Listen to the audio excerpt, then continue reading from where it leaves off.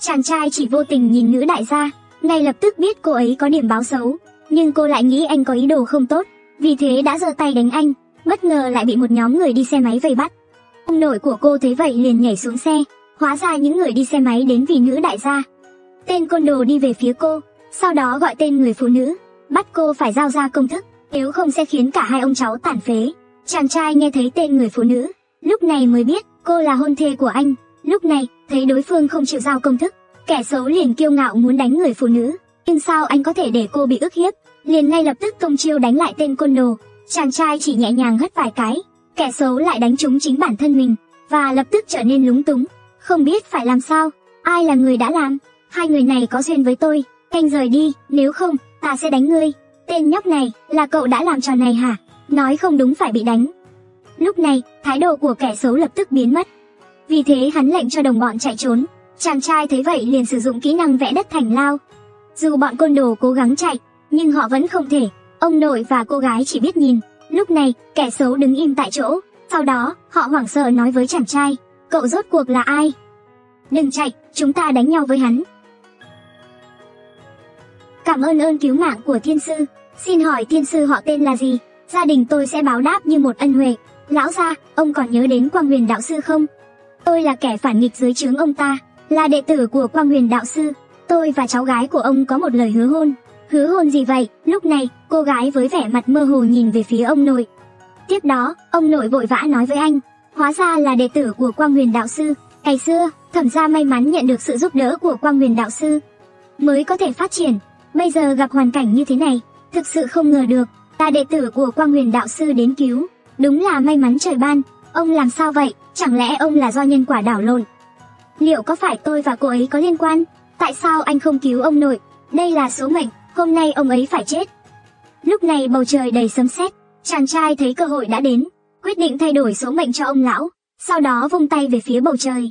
Nào ngờ lúc này ông lão kịp sống lại, lão ra tạm thời không sao, cô đưa ông ấy về trước, tối nay tôi sẽ giúp ông ấy thay đổi số mệnh, nhưng cô phải kết hôn với tôi. Cái gì, lấy anh, âm mưu của anh quá thâm sâu, hôn ước là nguyên nhân, lão gia bị bệnh là kết quả, muốn thoát khỏi âm mưu này, ngoài việc lấy tôi, cô không có lựa chọn nào khác. Tối nay, nhớ đặt ba cây nhang ở đầu giường lão gia, hãy nhớ nhang gãy sẽ chết. Sau khi chàng trai chỉ dẫn, người phụ nữ lái xe đưa ông nội về, cô gái về đến nhà liền nghe lời anh, đặt ba cây nhang ở đầu giường ông nội. Nào ngờ chưa đến 3 phút, anh trai vô dụng, còn trách cô không chăm sóc ông nội. Không chỉ vậy, mà còn rút ba nén hương ra, bẻ gãy rồi ném xuống đất. Còn cô? Chăm sóc tốt cho ông nội, đừng chỉnh mảng. Lúc này ông già chỉ còn nửa hơi thở, ông dùng hết sức lực để nói với cháu gái, nhanh đi tìm chàng trai, giờ chỉ có anh ấy mới cứu được ta. Nói xong ông già liền tắt thở, cô lập tức đứng dậy đi tìm chàng trai, và anh sau khi tính toán, liền biết ông già không qua khỏi, ngay lập tức tìm đến nhà, đúng lúc được người phụ nữ đi ra. Tiên sinh, anh cuối cùng cũng đến, ông nội tôi sắp không qua khỏi, anh nhanh lên cứu ông đi, dẫn tôi đi xem.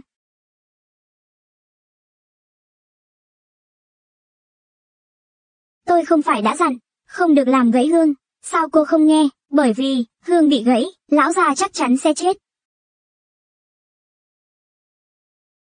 Tiên sinh, anh chắc chắn có cách cứu ông nội phải không? Ba nén hương bảo vệ hồn phách, đã bị gãy, không thể quay lại. Ninh tiên sinh tôi xin anh, xin anh cứu ông tôi, chỉ cần anh cứu được ông, tôi nguyện làm nô tỳ cho anh.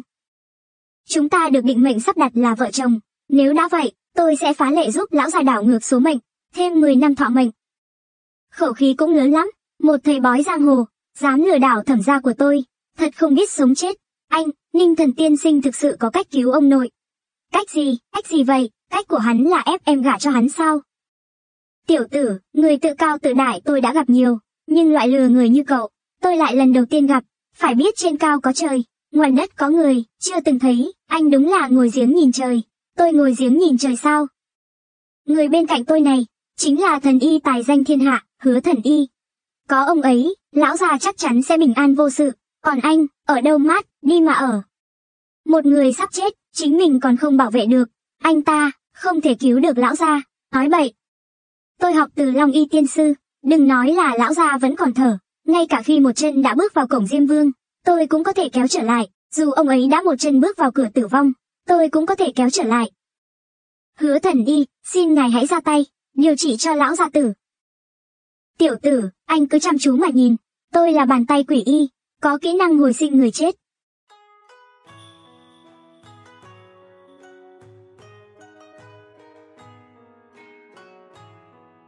Tử mạch Hứa thần y, ông nội tôi thế nào rồi? Lão gia tử toàn thân đều bao trùm bởi khí tử, hồn không trở về khí không ở lại. Trong trường hợp thường, căn bệnh này là không có thuốc chữa. Không cứu được. Hứa thần y, ngay cả ngài cũng không có cách chữa sao? Ông ấy thật sự là dấu hiệu đã chết. Ông, thật sự không thể cứu. Tôi nói là trong trường hợp thường không cứu được, nhưng cậu đừng quên, tôi là bàn tay thần y quỷ y, dù thế này cũng không làm khó được tôi. Các người hãy tránh ra, tôi muốn cho lão già hồi hồn, tiếp tục cuộc đời. Thiên địa huyền hoàng, vạn vật rõ ràng. Mệnh hồn, quay trở lại. Thủ đoạn tầm thường cũng dám ngược lại thiên đạo, ông chắc chắn sẽ bị thiên phạt. Tiểu tử, bây giờ hãy mở to mắt ra và nhìn kỹ. Tam thanh tại thượng, lộn ngược quay vòng, Hứa thần y, ông không sao chứ?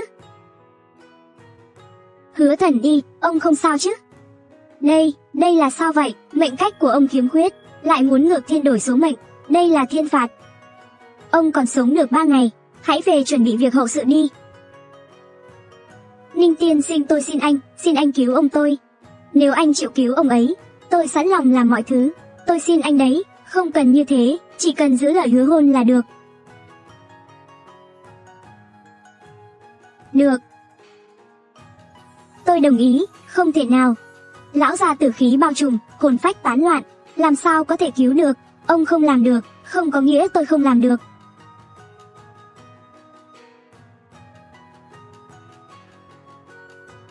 Hồi, quy, đến, tập.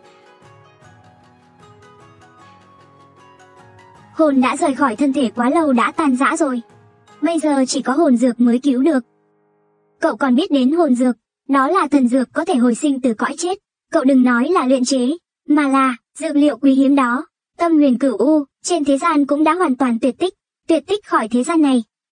Ta muốn nó xuất hiện nở rộ ngay tại đây. Tiểu tử ngu ngốc, hoa tâm huyền cửu u, 500 năm mới nở một lần. Hơn nữa, chỉ có thể nở, trong môi trường đầy linh khí của, đất lành của tiên nhân. Nhưng cậu lại bảo để nó nở rộ ở đây, đơn giản là làm cho ta cười rụng cả răng. Ông có biết, nơi tôi đứng, chính là đất lành của tiên nhân. Thiên địa vô tình, coi mọi vật như cỏ chó. Tiên nhân cũng vô tình, coi muôn dân như cỏ chó. Có câu, vạn vật sinh sôi không ngừng, sinh sinh không dứt, đó là đạo. Hôm nay, ta dùng danh nghĩa tiên nhân, chỉ thị cho thần mùa xuân. Cho ta, mở. Hoa tâm huyền cửu u, hoa ức sứ nở ở đây, đây. Làm sao có thể, phép thuật quỷ dị, chắc chắn là phép thuật quỷ dị. Kẻ ngu dốt cũng dám lớn tiếng, dùng thuốc để tập hợp hồn, khởi tử hồi sinh, quy. Chính là nó, có thể cứu lão ra rồi. Hoa tâm huyền cửu u, là thần vật giữa trời đất. Đại sư à? Anh, bông tam điểu còn lại anh định làm gì? Có thể, cho tôi một bông, ba nghìn năm mới nở. Tôi chỉ lấy một bông, làm người đừng quá tham lam. Cho lão già uống viên thuốc này lợi đã. Anh có chuyện gì vậy? Tiểu tử này có nguồn gốc không rõ, lại biết phép thuật quỷ dị. Thứ hắn đưa, tuyệt đối không thể cho ông ăn. Thật là mù quáng, hồn dược hồi sinh là vật thần kỳ giữa trời đất. Dù chỉ ăn một miếng, tuổi thọ có thể tăng thêm 10 năm. Tôi dùng thuật đổi trời chuyển ngày, để thay đổi số mệnh cho lão gia, nhưng linh hồn đã rời khỏi cơ thể quá lâu, phải dựa vào hồn dược này mới có thể tái tạo linh hồn, chắc chắn có thể hồi sinh, thật sự là hồn dược. Không ngờ, trong đời mình, còn có thể nhìn thấy vật thần kỳ như vậy. Hứa thần y, những lời này nghe thật kỳ diệu, thật hay giả. Thật sự là ngu muội lúc đại sư luyện dược, những hiện tượng kỳ lạ đó, không thể là giả. Đại sư, xin hãy, cứu mạng tôi với, số mệnh của anh khiếm khuyết, vừa rồi lại cưỡng ép sử dụng kim châm sinh tử. Hơn nữa lão già tử nghiệp chướng lớn lao, không phải sức người có thể thay đổi, ông đang cố chống lại số phận, chắc chắn sẽ bị thiên đạo phản kích. Chỉ còn ba ngày, đây này. Tôi xin lỗi đại sư, xin hãy cứu giúp tôi với. Được thôi, tính vào lòng thành của ngươi, và vì cứu lão gia tử, mà dính líu đến nghiệp chướng. Hôm nay ta sẽ giúp ngươi cắt đứt nghiệp chướng. Nghiệp chướng đã đứt tự lo liệu lấy mình, đi đi. Vâng, cảm ơn đại sư ạ. Đại sư, nếu sau này có gì cần tôi nguyện hy sinh hết mình. Chịu mọi lao nhọc. Ơ, hứa thần y, hứa thần y. Cho lão già tử uống thuốc đi.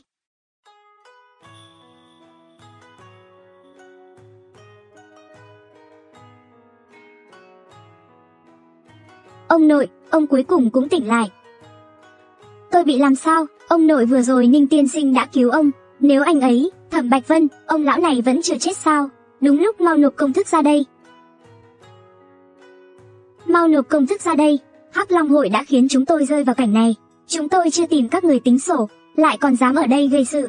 Công thức cổ này, Hắc Long hội của tôi quyết tâm phải có được. Lão già này, người vô tội mang theo bảo vật tự mình chịu tội. Ông hiểu chứ, công thức cổ là mạng sống của nhà họ Thẩm. Lão Phu, tuyệt đối sẽ không giao cho người khác. Nói thật với các người, công thức cổ này không phải Hắc Long hội nhất định phải có, đó là Lâm Đại Thiếu, ra lệnh phải có bằng được. Anh ta muốn tại yến tiệc dược vương, dâng công thức cổ này cho nhà họ Tiêu. Tôi khuyên các người nên biết điều, nếu không tôi sẽ khiến các người đi gặp Diêm Vương, Tiêu gia. Không sai, Lâm Đại Thiếu bây giờ đã gia nhập Tiêu gia, và Tiêu gia là một trong ba gia tộc hàng đầu tại kinh thành. Với các gia tộc nhỏ như các người, chỉ cần họ giơ một ngón tay, các người sẽ biến mất mà không ai biết. Giống như cách đây 5 năm, 73 người đều bị sát hại, giống như thế sao? Tiểu tử, cậu biết chuyện này từ đâu? Tôi không chỉ biết về việc này, tôi còn biết rằng vụ diệt môn của Ninh Gia ngày ấy. Ba gia tộc lớn của Kim Lăng, cùng với tất cả các người trong Hắc Long hội, đều tham gia vào đó. Món nợ này, tôi nhất định sẽ từ từ tìm các người để thanh toán. Không ngờ các người lại tự chạy đến, tìm cái chết. Tiểu tử, cậu không lẽ là đứa trẻ sót lại của Ninh gia ngày xưa? Ninh thần phải không? Đúng vậy. Chính là tôi.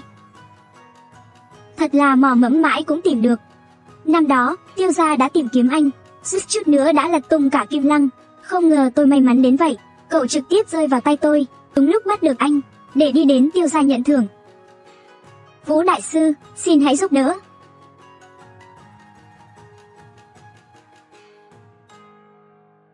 Cú đánh tung thiên, có chút nhãn lực đó.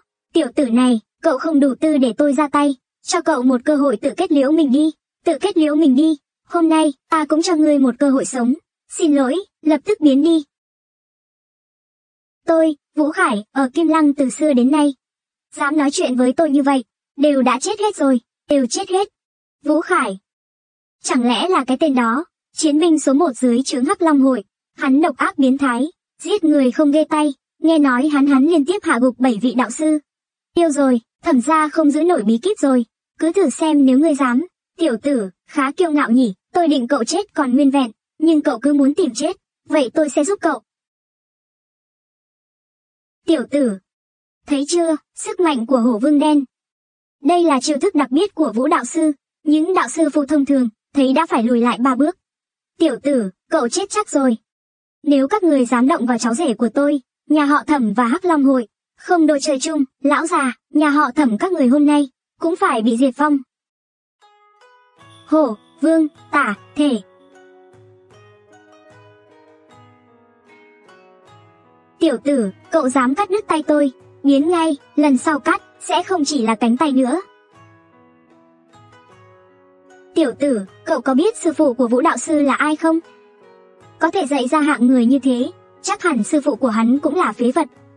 Cậu được lắm, lại dám sỉ nhục vương đạo sư, cậu chết chắc rồi, vương đạo sư, tiểu tử, sư phụ tôi rất bảo vệ tôi, ông ấy biết cậu hại tôi, chắc chắn cậu chết không toàn thay, gieo nhân nào gặt quả nấy, hoàn toàn do ngươi tự chuốc lấy, nếu sư phụ ngươi dám làm loạn theo ngươi, thì số phận của ông ấy chỉ có thể còn thảm hại hơn ngươi. Khẩu khí thật lớn, vương đại sư sao ông lại đến đây, tôi theo một vị tiên sinh đến đây, như vì sức lực kém cỏi nên đã lạc mất họ rồi. Ôi sư phụ, người đừng quan tâm đến tiên sinh nào cả, con bị người ta phế tay rồi đây.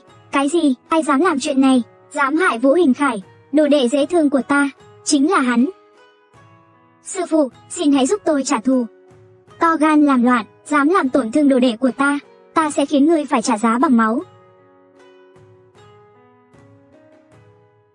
Ta muốn xem ngươi có khả năng đó không?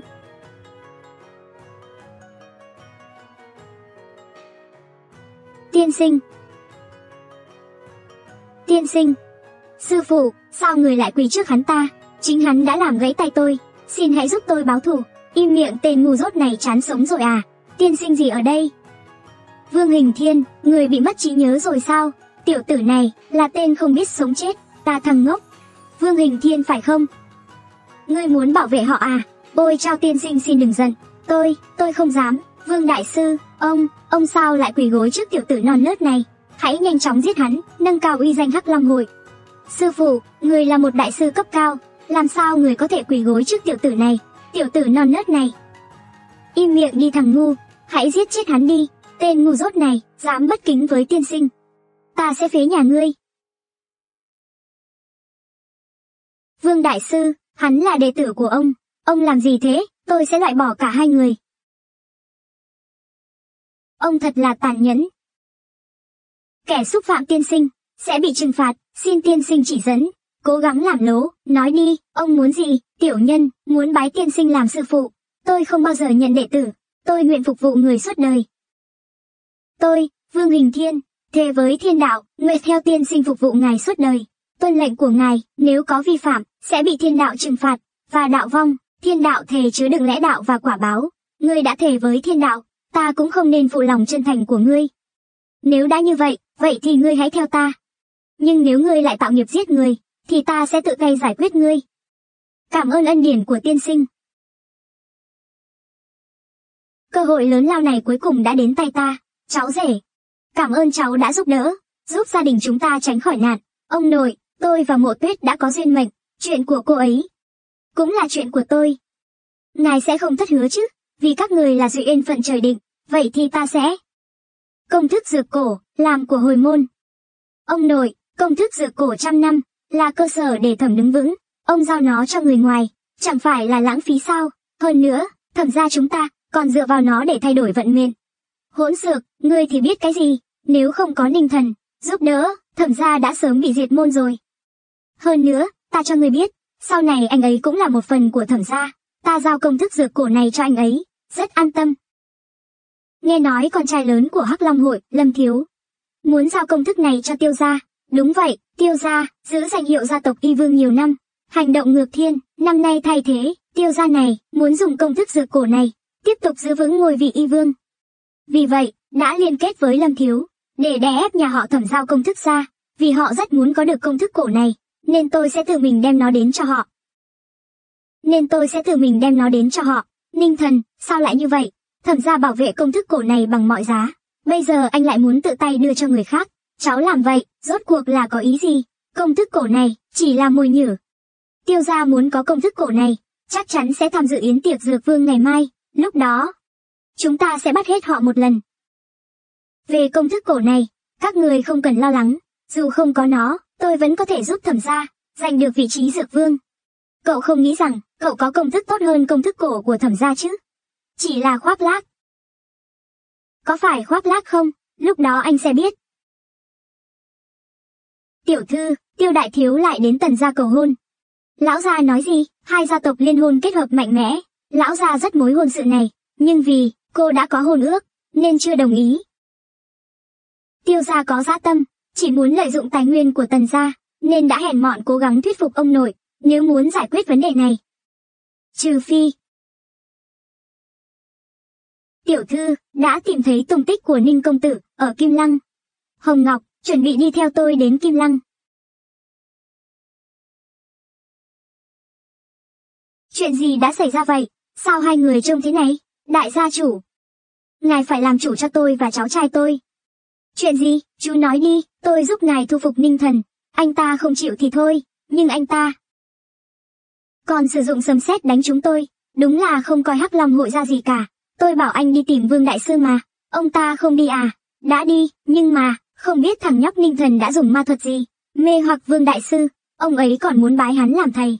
Thật là vô lý, tìm mấy người, bây giờ tôi sẽ diệt hắn. Không cần nữa, tôi đã đến rồi, ninh thần, anh dũng cảm quá nhỉ, tự ý xông vào hắc long hội, đây không phải là hang ổ của rồng, có gì không thể tự ý xông vào, cậu là ninh thần à. Tiểu tử, thiên đường có cửa cậu không đi, địa ngục không cửa tự mình tìm đến, tôi hắc long hội, không oán không thù với cậu, Tại sao cậu cứ phải làm khó dễ tôi? Không oán không thù, Triệu Hắc Long, ông thật sự là làm giết nhiều người nên quên rồi. Hãy nhìn lại xem, tôi là ai? Cậu là Ninja, từ 5 năm trước. Ông vẫn nhớ tôi, 5 năm trước, 73 người trong ninja của tôi đã bị giết sạch trong một đêm. Vụ việc này, ông cũng tham gia, ông thừa nhận, hay không thừa nhận? Ha ha, tôi tham gia, thì sao chứ, nói thật với cậu, người diệt ninja của cậu, thực ra, là tiêu gia, và còn, cũng có tôi và Lâm Đại Thiếu, cũng là người của tiêu gia. Phạm tội với chúng tôi cậu chỉ có con đường chết, người chết chính là ông. Sư phụ Vương Huynh Thiên, ông đang làm gì vậy? Ngươi không nhìn thấy sao? Hôm nay tôi và sư phụ, đến để phá bảng hiệu của Hắc Long Hội. Vương Huynh Thiên ông là người của Hắc Long Hội. Hôm nay ông phản bội họ. Không sợ Lâm Đại Thiếu. Trách phạt à, tôi khinh, cái gì mà Lâm Đại Thiếu? Tôi cho anh biết, những năm này tôi giúp Hắc Long Hội làm nhiều việc ác. Giết người vô tội, tôi đã muốn từ bỏ họ từ lâu. Bây giờ tôi theo tiên sinh, cắt đứt với các người. Những người không có nhân tính này, á cách hoàn toàn, Vương Huynh Thiên, cái biển này là do tiêu gia chủ, tiêu chấn sơn tặng. Rất ý nghĩa đối với Hắc Long Hội, ông hãy lắp lại cái biển này ngay cho tôi. Tôi sẽ bỏ qua việc này, ý nghĩa lớn lao, theo tôi biết, cái biển này là sau khi các người tiêu diệt ninh gia tôi, tiêu chấn sơn trao tặng cho các người, nói cách khác. Tấm biển này đã dính đầy máu của 73 người ninh gia của tôi. Chỉ vì ninh gia của cậu đã phạm tội với tiêu gia, một thế lực lớn. Tất cả những điều này là tự cậu tìm lấy. Ninh thần, anh chưa hiểu sao, trong thế giới này, có quyền có thế mới là chủ. Tiêu gia là một gia tộc lâu đời ở kinh đô, có chức cao quyền lực che trời. Chỉ trách anh đã sinh ra trong gia đình đó. Theo ý của ngươi là, có quyền có thế là có thể cưỡng ép và bắt nạt người khác sao? Còn người khác, chỉ có thể chịu đựng trong im lặng, tự nguyện chịu phạt sao? Đúng vậy, đã hiểu. Tôi tuyên bố, từ hôm nay, Hắc Long Hội, bị diệt, cậu, đồ con hoang, cậu dám phá bảng hiệu của Hắc Long Hội. Cậu nghĩ chúng tôi không có người sao? Đúng là quá đáng, cậu thật sự là quá đáng. Đây không phải các người dạy sao? Có quyền có thế thì có thể ngăn ngược bá đạo, bắt nạt người khác, tôi chỉ là học theo, và áp dụng ngay, người đâu, người đâu, giết hắn cho tôi nhanh lên, chặt xác hắn thành ngàn mảnh. Một đám người rối rắm,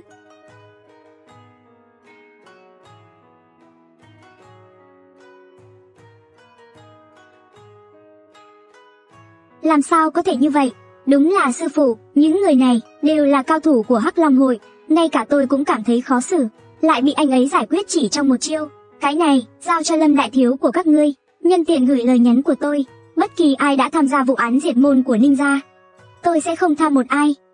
Bảo họ chuẩn bị cổ họng thật sạch sẽ, chờ đấy,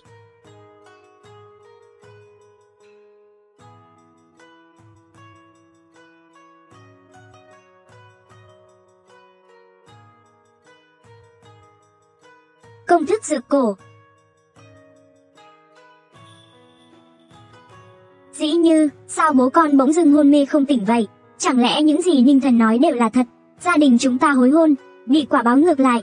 Mẹ, mẹ đừng nghĩ lung tung, tiểu tử đó chỉ biết làm trò ma quỷ. Cái gì mà quả báo ngược, mẹ cũng tin cái trò lừa bịp trẻ con đó à? Vậy bệnh của bố con là thế nào? Bác sĩ mới nói, sinh khí trong cơ thể ông ấy đang dần mất. Trong 7 ngày, sinh khí tiêu tan ông ấy sẽ chết. Mẹ, mẹ đừng lo lắng trước, ngày mai ở Kim Lăng sẽ tổ chức đại hội dược vương. Lúc đó các lực lượng sẽ tụ hội về tiêu gia, ngồi lên vị trí dược vương. Khi đó, chúng ta chỉ cần nhờ tiêu gia giúp đỡ, bệnh của bố chắc chắn sẽ khỏi. Không nên chần chừ các con hãy chuẩn bị ngay, ngày mai cùng đi tham dự dược vương yến.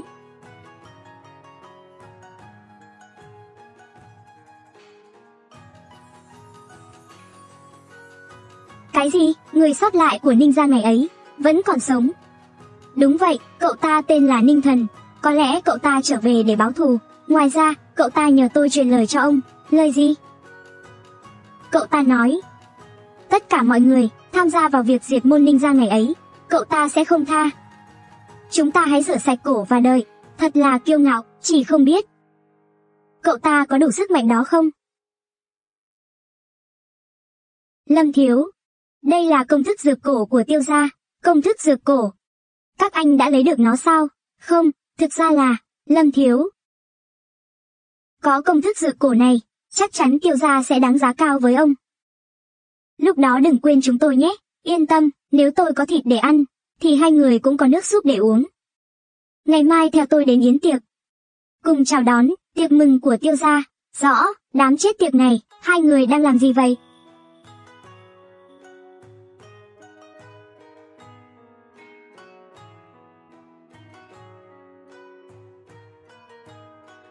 Sao anh lại nhìn tôi? Tôi định sẵn phải qua ba kiếp nạn, kiếp thiên đạo và sinh tử tôi đã vượt qua. Kiếp nhân sinh này, cần cô giúp tôi vượt qua. Cái gì mà vượt kiếp? Tôi sao không hiểu gì cả. Không hiểu cũng không sao. Đêm đã khuya, vợ yêu, chúng ta nên đi ngủ. Chờ đã, tôi biết anh đã hủy hôn với Tô Tiểu Thư, nhưng... Sao vẫn còn một bản hôn ước nữa? Tần Thập Diện, cô ấy là ai? Đây là con gái của Tần gia. Vợ yêu, yên tâm, kể từ khi tôi đã xác định em là vợ mình, tôi không bao giờ nhìn phụ nữ khác. Lời nói không có bằng chứng, không quan tâm, anh phải hủy bỏ hôn ước với Tần Thập Diện, nếu không, đừng mong chạm vào tôi. Được thôi. Đồ tồi, vợ ơi.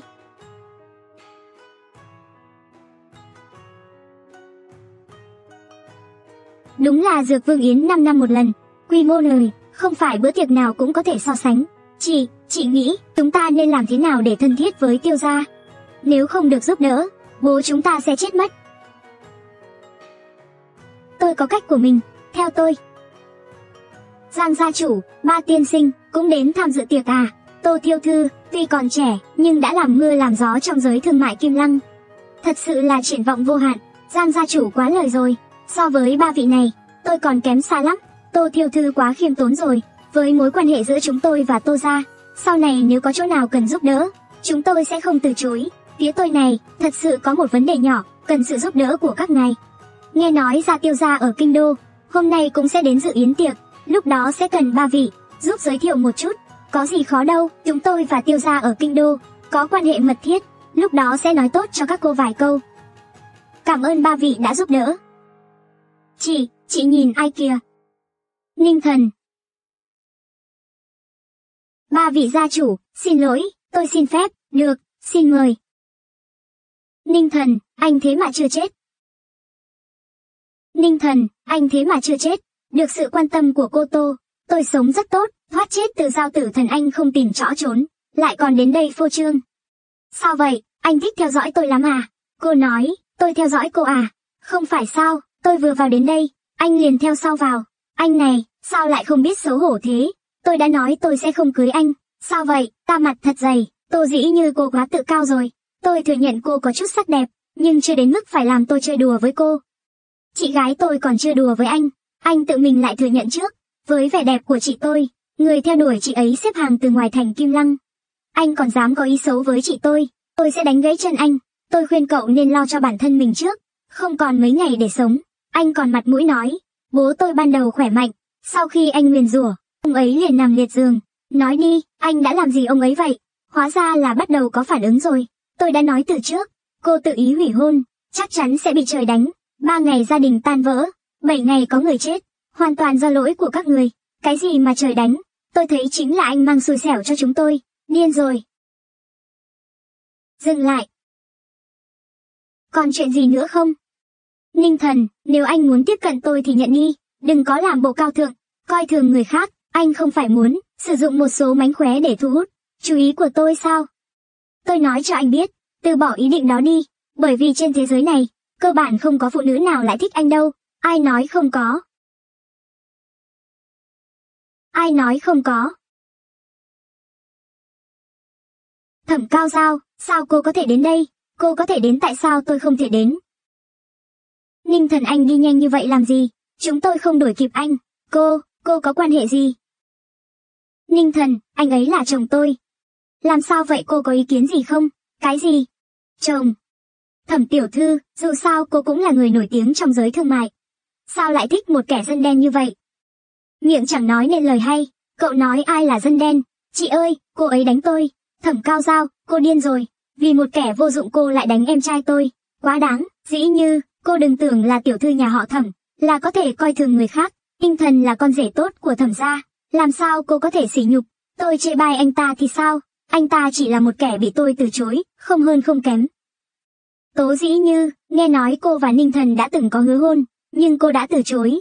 Tôi còn luôn coi cô là đối thủ của mình. Trong kinh doanh, cô có thể sánh ngang với tôi, nhưng về việc chọn đàn ông, cô không bằng một nửa tôi. Nghe giọng cô nói, tôi từ chối anh ấy là mất mát của tôi. Không chỉ là mất mát, mà là mất mát lớn lao. Năng lực của Ninh Thần, mạnh mẽ hơn cô tưởng. Tài năng của anh ấy, cao hơn cô không thể tin được. Có anh ấy ở đây, thẩm ra chúng tôi chắc chắn sẽ vượt bậc vút cao. Còn Tô Gia cô, vì thế, mà mất đi một vị tướng tài mà trời ban, vị tướng tài trời ban. Tôi thấy đó là họa từ trời rơi xuống. Thẩm lão gia, tôi nghe nói thẩm gia ông, mới nhận một rể mới, để bảo vệ thẩm gia, không ngại chọc giận Hắc Long hội, không phải là anh ta chứ, thẩm lão gia, ông đã ở tuổi sắp xuống mồ rồi, sao vẫn không biết điều như vậy? Hắc Long hội, các người có thể chọc vào được à? Một bang hội dựa trên việc cướp bóc, giết người và đốt nhà. Có gì mà không dám chọc giận, ngược lại, các người, bảo vệ Hắc Long hội như thế, chẳng lẽ, cũng là một ruột với chúng sao?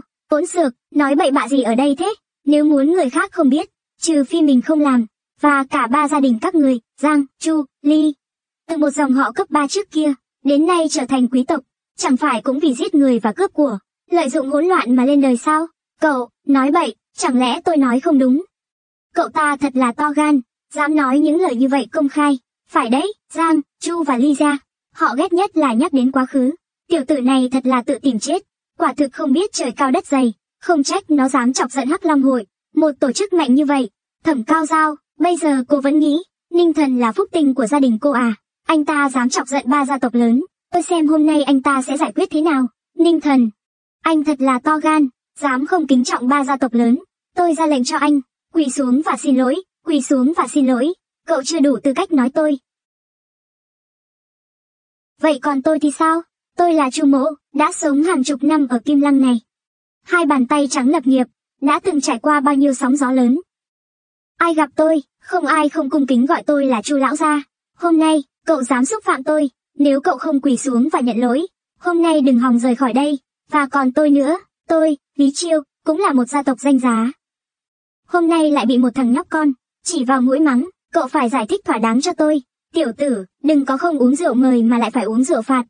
Không tính ba gia tộc lớn, chỉ riêng Hắc Long Hội, cũng có thể khiến cậu chết không có chỗ chôn. Ninh thần, anh biết mình đã gây ra họa lớn đến mức nào không? Buổi yến tiệc dược vương này, chính là sân khấu của Hắc Long Hội. Anh chọc giận ba gia tộc lớn, và giận người của Hắc Long Hội. Anh không chỉ trốn tránh tội lỗi, còn dám làm loạn ở đây. Anh thật sự không sợ chết sao? Chỉ là một Hắc Long Hội, tôi chưa coi vào đâu. Hỗn láo, dám xúc phạm Hắc Long Hội. Cậu biết ba chữ Hắc Long Hội này, có giá trị như thế nào không? Tôi thấy cậu sống quá lâu rồi. Tôi thực sự muốn biết, Hắc Long Hội có bối cảnh gì? Có đáng để tôi chú ý không? Hắc Long Hội, chính là lực lượng của Lâm Đại Thiếu. Hơn nữa, còn có Vương Đại Sư ngồi chấn. Cậu đã từng nghe về Vương Đại Sư chưa? Ông ấy là đại sư số một của Kim Lăng. Chỉ cần một bàn tay có thể diệt cậu. Ông đang nói về Vương Hinh Thiên phải không? Cách đây không lâu, ông ấy còn quỳ xuống xin tôi làm sư phụ của mình. Tôi nói này, Ninh Thần, anh đang mơ mộng gì vậy? Trông lại anh kìa, còn không xứng liếm giày cho Vương Đại Sư. Anh có quyền gì mà nhận ông ấy làm đệ tử? Thẩm mộ tuyết à, đây là người đàn ông cô muốn gả sao? Tôi thấy không chỉ là mắt cô có vấn đề, não của cô cũng có vấn đề, người não có vấn đề là các người đấy. Ninh thần nói rất đúng, cách đây không lâu khi Vương Đại Sư đến nhà họ thẩm, đã bái Ninh thần làm thầy, Ninh thần thấy ông ấy chân thành, nên miễn cưỡng nhận làm đệ tử. Thẩm tiểu thư, dù cô muốn giúp ông ấy, cũng không nên bia ra câu chuyện cười như thế này chứ. Vương Đại Sư là người của Hắc Long Hội, ông ấy cống hiến cho Hắc Long Hội, sao có thể lại lệch lạc trở thành đệ tử của cậu được. Mọi người đều im lặng đi, người cao hướng lên cao, nước chảy về chỗ chúng. Hắc Long hồi tội ác chất chồng không thể kể xiết, sớm muộn gì cũng sẽ nhận quả báo. Vương Đại Sư thì sao? Vương Đại Sư là từ bỏ bóng tối hướng tới ánh sáng. Tốt, vậy thì, nếu các người quyết tâm, muốn sống chết cùng cậu ta, thì tôi sẽ giúp các người. Người đâu, bắt lấy ba kẻ không biết sống chết này cho tôi. Tôi xem ai dám. Vương Đại Sư ngài đến đúng lúc quá, có kẻ không biết trời cao đất dày, dám lớn tiếng với ông. Cậu bảo ai dám nói tôi như vậy, chính là tiểu tử này tên là Ninh Thần. Hắn dám nói mớ, nói rằng ông bái hắn làm sư. Vương Đại Sư, tên Ninh Thần này quá kiêu ngạo rồi. Không chỉ xúc phạm ba gia tộc lớn, mà còn, thiếu tôn trọng Hắc Long Hội. Xin ông hãy ra tay, cho hắn một bài học. Ninh thần, nhìn kìa, Vương Đại Sư đã đến, lập tức quỳ xuống xin lỗi, có thể còn giữ lại được toàn thây. Xin lỗi, nghe thấy không, Vương Đại Sư đã nói rồi, lập tức quỳ xuống xin lỗi, hỗn xược. Vương Đại Sư, sao ông đánh tôi? Tôi bảo cậu xin lỗi anh ấy, xin lỗi anh ta sao vì sao chứ, chỉ vì anh ta là sư phụ của tôi. Đệ tử Vương Hinh Thiên, bái kiến sư phụ. Đứng dậy đi, cảm ơn sư phụ. Ninh thần lại là sư phụ của Vương Đại Sư, điều này không thể nào. Vương Đại Sư, anh có phải điên rồi không? Cậu ta sỉ nhục hắc long hội, ông không những không giúp giải quyết cậu ta, lại còn bái sư, ông không cần mặt mũi nữa à? Dám xúc phạm sư phụ tôi, tìm chết. Đại ca. Sư phụ, những người khác nên xử lý thế nào? Có muốn đệ tử giúp người một tay không? Vương Hinh Thiên, ông lại cấu kết với tiểu tử này. Nếu Lâm Đại Thiếu biết chuyện này, chắc chắn sẽ không tha cho ông. Lâm Thiếu nào, nếu hắn dám đến tôi sẽ đánh cho hắn tìm không ra răng. Khẩu khí thật lớn, khẩu khí thật lớn. Lâm Thiếu, đó là Ninh Thần, tên mồ côi của Ninh Gia, đã giết không ít người của ta, bây giờ lại mưu đồ xấu, thật sự là chết không đáng tiếc. Vương Hinh Thiên, ông là kẻ phản bội bỉ ổi, đáng ghét, ông dám phản bội Hắc Long hội, làm tay sai cho kẻ xấu, cho ông biết, bây giờ ông còn kịp quay đầu là bờ, nếu không, đừng trách tôi quay lưng không nhận người. Lâm Thiểu, nể tình chúng ta từng quen biết, tôi khuyên anh, người đứng trước mặt anh không thể chọc vào, nên sớm, mau chóng biến đi, nếu không thì... Vương Hinh Thiên à Vương Hinh Thiên, ông có biết, ông đang nói gì không? Cậu ta, tiểu tử này. Tôi không thể chọc vào sao? Đừng nói là tôi, trong những người hiện diện ở đây, ai cũng có địa vị và quyền lực, áp đặt hơn hắn một đầu. Chỉ có ông không hiểu tình hình, nhận tên sắp chết làm thầy, giống như coi kẻ trộm là cha, có gì khác biệt, cậu, các vị. Tôi xin giới thiệu với mọi người, một cách trang trọng. Vị này, Ninh Thần, một kẻ phụ bạc tổ tiên, mất hết nhân tính, một kẻ xúc vật, năm năm trước, vì lợi ích cá nhân. Không thừa nhận huyết thống. Đã sát hại 73 người trong Ninh gia, tất cả mọi người, kể cả cha mẹ của chính hắn, cũng chết dưới tay hắn. Sau đó, liền trốn chạy vì tội lỗi, tôi, Hắc Long Hồi, đại nhân đại nghĩa, không thể chứng kiến tên ác nhân này hoành hành, thề sẽ cho Ninh gia, và 73 người đã chết oan, được minh oan. Vì vậy trong 5 năm nay, luôn tìm kiếm tiểu tử này. Không ngờ hôm nay, cậu ta lại tự mình chui vào lưới. Hóa ra anh ta chính là kẻ phản, Ninh Thần, anh ta đã giết cả gia đình mình một cách tàn nhẫn. Tôi cũng nghe nói sơ qua, thậm chí còn giết cả cha mẹ mình, thật sự là đáng chết mà. Đúng vậy, may là có Hắc Long hội chủ trì công đạo, nếu không, một con quỷ tay nhuốm đầy máu này, sẽ tiếp tục nhởn như sống. Tuyệt vời, thực sự là tuyệt vời. Lâm Thiểu, anh có thể thản nhiên như vậy, đảo ngược trắng đen, đổ tội lỗi mà mình gây ra, lên người người khác một cách nhẹ nhàng. Với tài năng này, Ninh Mỗ, tự mình thấy không bằng. Anh nói bậy, anh nói ai, đảo ngược trắng đen, những lời Lâm Thiếu nói là sự thật. Cậu chỉ là một kẻ phản bội không thể dung thứ, nhất định phải trừ khử. Ninh thần, tôi khuyên anh không nên chối cãi. Chúng tôi, Lâm gia, Tại Kim Lăng là nổi tiếng xa gần, anh nghĩ mọi người, chỉ nghe lời nói của mình anh, sẽ tin như vậy sao? Tiểu tử, bây giờ, hãy quỳ xuống cho tôi một cách ngoan ngoãn, rút kiếm tự sát. Chúng tôi, lâm gia, có thể sẽ cho anh một thi thể nguyên vẹn. Hỗn láo, dám xúc phạm sư phụ của tôi, thật đáng chết. Sấm xét,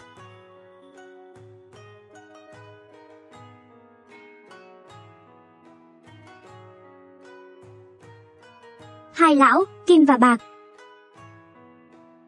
Hai lão, Kim và Bạc, bọn họ có mạnh lắm không? Hai lão Kim và Bạc này trước đây giống như tôi, họ phục vụ trong Hắc Long hội, luôn ẩn mình trong bóng tối. Hai người họ là vệ sĩ cá nhân của Lâm Thiệu, có vẻ như hai người này về sức mạnh, đã bước vào hàng ngũ của những đại tôn sư, Ninh Thần. Đừng nói là cậu nghĩ rằng, Hắc Long hội của tôi, chỉ có bề ngoài này thôi. Cậu thu phục ông ta thì sao? Tối đa cậu chỉ có một đại sư phụ, còn tôi, có hai. Cậu lấy cái gì để đấu với tôi? Thứ không biết sống chết này, thấy được khoảng cách với Lâm Thiếu rồi chứ. Giờ cậu chỉ cần quỳ xuống nhận thua, vẫn còn kịp, nếu không sẽ để cậu chết không có chỗ chôn còn không quỳ xuống, ồn ào.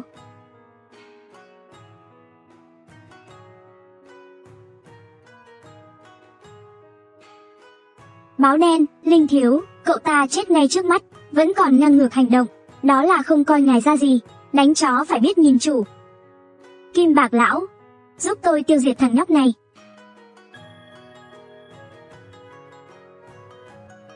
Đánh chó tôi không bao giờ nhìn chủ, giết chó càng không cần. Làm sao có thể như vậy? Sao anh ta lại mạnh mẽ như vậy? Hai vị đại tôn sư này trước mặt sư phụ như kiến. Tôi đã đánh giá thấp sức mạnh của sư phụ mình rồi. Cậu không thể giết tôi, bố nuôi của tôi là đại tổng quản của tiêu gia. Động vào một sợi tóc của tôi bố nuôi của tôi đến. Cậu nhất định phải chết. Ninh thần hãy dừng lại. Tiêu gia quyền lực ngập trời không thể chọc vào. Nhanh chóng dừng tay nếu không sẽ gây họa lớn. Ninh thần, đừng tự chuốc lấy cái chết. Lúc đó tiêu gia sẽ cử người đến yến tiệc. Nếu Lâm Đại Thiếu có gì không may, cả anh và thẩm gia đều khó thoát khỏi tai ương. Khó thoát khỏi tai ương. Một tiêu gia bé nhỏ, tôi có thể dập tắt bằng một cái búng tay. Tôi, chư thiên tạc, sống hơn nửa đời người, dám nói chuyện như vậy với tiêu gia của tôi. Cậu là người đầu tiên. Quản gia của tiêu gia đã đến, kia không phải là hứa dược phong hứa thần y sao, còn có sư phụ của anh, đan trần tiên sư được mệnh danh là Long Y Thiên Sư. Là người của tiêu gia, lần này họ cũng đến đây, có vẻ như họ quyết tâm chiếm lấy vị trí dược vương. Tại sao lại là anh ta? Bố nuôi, cứu con, bố nuôi cứu con. Tiểu tử, mau thả con nuôi của tôi ra, ông muốn. Tôi sẽ cho ông. Ôi ô, bố nuôi bố nuôi. Cậu ta vừa muốn giết chết con đấy bố nuôi, bố nuôi làm chủ cho con với bố nuôi, bố nuôi giúp con dạy dỗ cậu ta đi. Tiêu đại quản gia. Tôi thấy chuyện này có thể là có hiểu lầm gì đó. Tốt nhất là không nên gây hấn. Hiểu lầm, hắn ta suýt nữa giết chết con tôi, anh nói là hiểu lầm sao? Đúng vậy. Đồ đệ, đây là ý gì vậy? Sao con lại giúp người ngoài nói? Sư phụ đây chính là người mà con đã nói với ngài. Anh ấy là người luyện ra được đan dược hồi hồn. Cái gì là đan hồi hồn? Là tiểu tử kia luyện ra sao? Dược phong, anh có phải đang đùa tôi không? Sư phụ ạ. Tiểu tử đó chỉ là một. Tên tiểu tử vắt mũi chưa sạch. Làm sao có thể luyện ra đan tiên? Sư phụ phải tin con. Người phi thường có thể luyện chế được viên thuốc phục sinh. Chúng ta vẫn là, tôi biết gần đây, anh đã làm việc quá sức. Nhận thức có chút lệch lạc. Tiêu tổng quản, anh mời tôi đến đây. Anh không phải nói có một bài dược phẩm tuyệt thế sao? Đưa ra cho tôi xem nào. Xin tiên sư chờ một chút, dược phẩm đâu sao không nhanh chóng đưa ra. Đây à? Tiên sư.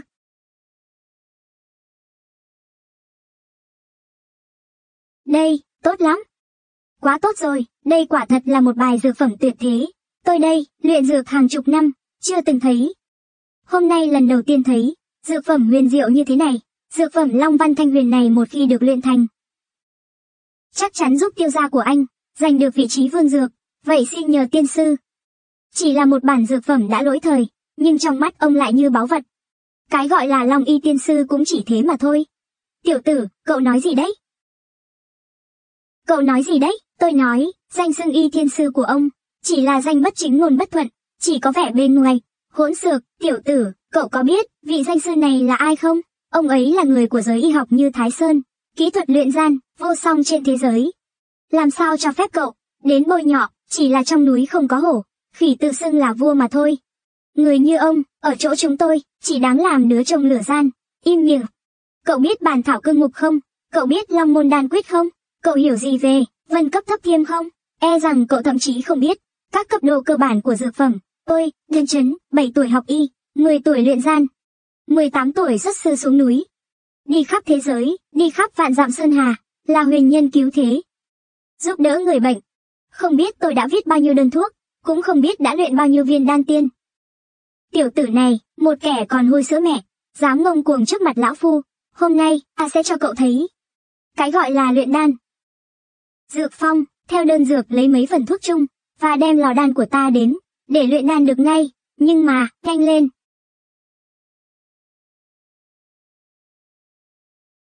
Tiểu tử, mở to mắt ra mà xem cho kỹ. Không ngờ, hôm nay thực sự được chứng kiến, đan chấn tiên sư luyện đan. Thật không uổng phí chuyến đi. Đúng vậy. Đan chấn tiên sư, là danh y nổi tiếng khắp thế gian, lão y thiên sư. Không biết hôm nay người, có thể luyện ra loại đan tiên thế nào nhỉ? Chính tiểu tử này, dám nghi ngờ kỹ thuật luyện đan của đan chấn tiên sư. Đúng là không biết sống chết. Đừng sợ, có tôi ở đây. Ôi, Ninh Thần. Cậu còn cười được à? Cậu biết đan tiên sư ghét cái gì nhất không? Đó chính là, có người nghi ngờ kỹ thuật của ông ấy. Hôm nay cậu dám công kích ở đây. Khi tiên đan này được luyện xong, tôi xem cậu làm sao chết.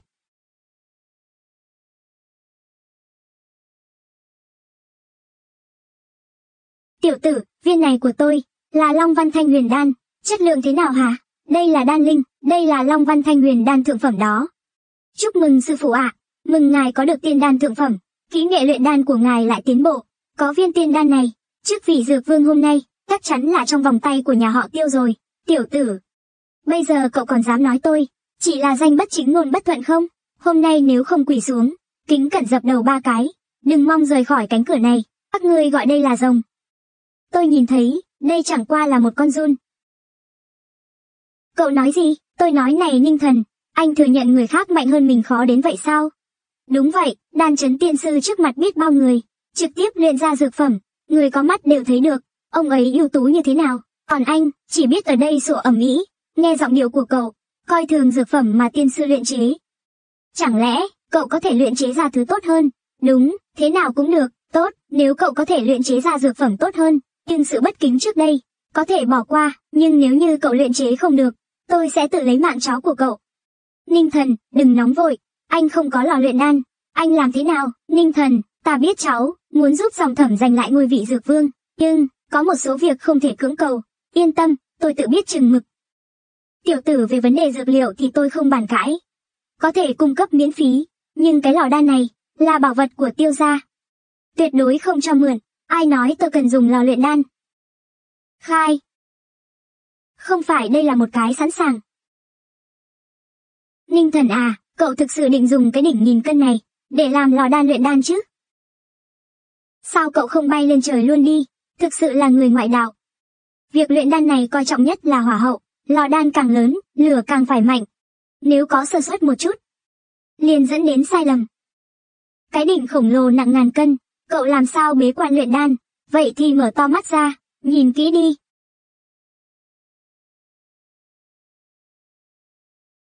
Đi. Hỏa thần thiên long, nghe lệnh ta, cháy. Cái này, đây là tam mãi chân hỏa, tiểu tử này làm sao có được lửa kỳ này, chân hỏa hiếm có trên đời, nghe nói, thì có tiên nhân ngoại giới mới sử dụng được. Sư phụ, tôi đã nói với ngài từ trước, anh ấy không phải người thường, ngài cứ không tin. Ngũ hành chân hỏa, cửu cửu ngũ lý. Đọng lại. Chuyện gì vậy? Bên trong, hình như có thứ gì đó. Hôm nay tôi sẽ cho các ngươi xem, cái gì là Long Văn Thanh Huyền Đan thực sự. Nghe lệnh tôi, lên.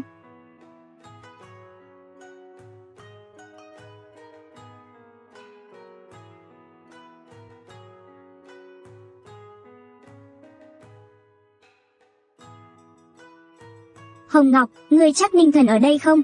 Chắc chắn. Tối nay ở đây tổ chức Dược Vương Yến, Ninh Thần dường như muốn giúp thẩm gia, tranh đoạt vị trí Dược Vương. Chỉ cần tôi cưới Ninh Thần, sẽ không ai có thể kiểm soát hôn nhân của tôi nữa. Vừa rồi là tiếng gì vậy? Hãy là đi vào xem. Con rồng to lớn thế kia, đây là linh dược, linh dược của Long Vân Thanh Huyền. Trong đời tôi chưa từng thấy con rồng lớn như vậy, làm sao có thể? Tranh lệch quá lớn, so với của anh ta. Linh dược của sư phụ, nhỏ như con run. Đan chấn tiên sư, ông nghĩ sao về viên Long Vân Thanh Huyền đan của tôi? Chất lượng thế nào? Với linh dược như vậy, chẳng lẽ đây là tiên đan cấp cao nhất? Ít ra ông còn có đôi mắt. Với viên tiên đan cấp cao nhất này, xin hỏi mọi người ở dây. Còn ai muốn cùng thẩm gia tranh đoạt vị trí dược vương này không? Đúng, còn ai nữa? Tôi không đồng ý, cùng một loại Long Vân Thanh Huyền, chất lượng làm sao có thể cao hơn? Chẳng lẽ, đan dược của chúng ta là giả? Đan dược của chúng ta là giả. Giả, ấy triệu hắc long, công thức cổ của anh lấy từ đâu? À, là ninh thần đó đưa, là tiểu tử ninh thần đưa cho chúng ta. Hắn là kẻ thù của anh, làm sao có thể tốt bụng đưa cho anh công thứ CCO. Đan phương của các người là thật, chỉ có điều tôi đã điều chỉnh một số chi tiết nhỏ. Tiểu tử, rốt cuộc cậu là người nào? Cha nuôi. Cái gì? Hắn chính là đứa trẻ mồ côi năm xưa sao? Chính xác mười mươi, thì ra là vậy, không trách anh có ác cảm với tiêu gia, sâu đậm đến thế. Thậm chí, còn cố tình đưa ra một công thức đan dược giả. Mục đích là để thả dây dài, câu cá lớn. Chỉ tiếc là, dây của tôi đã thả ra, nhưng cái mà, tôi câu được, chỉ là một con, cá tầm thường, nói chúng ta là cá tầm thường. Ha ha tuổi còn nhỏ, nhưng khí phách thì không nhỏ. Tiểu tử, cậu cố ý dẫn dụ tiêu gia chúng tôi tới đây. Chắc hẳn đã chuẩn bị sẵn sàng cho cuộc chiến sinh tử. Nhưng nếu cậu có thể giao công thức đan dược, một cách ngoan ngoãn, có lẽ tôi có thể khoan hồng. Cho người chết nguyên vẹn. Thế nào, nếu tôi không đồng ý thì sao? Cậu không được phép chọn.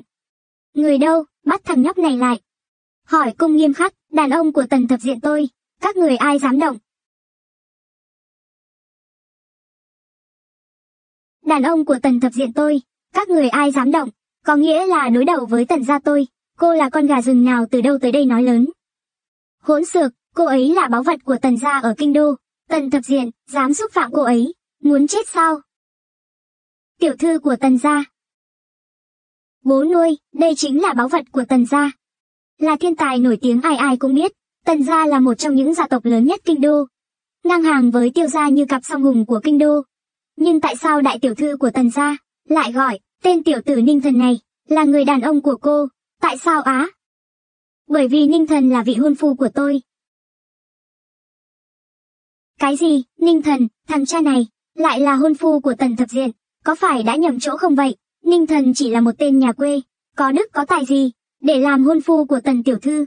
Tần tiểu thư, thực ra tôi, ninh thần, chắc hẳn anh cũng biết, giữa chúng ta có một hợp đồng hôn nhân đã định, bây giờ tôi mang theo hôn phí trăm tỷ đến cưới, anh có chịu lấy tôi không? Mang xính lễ đến đây.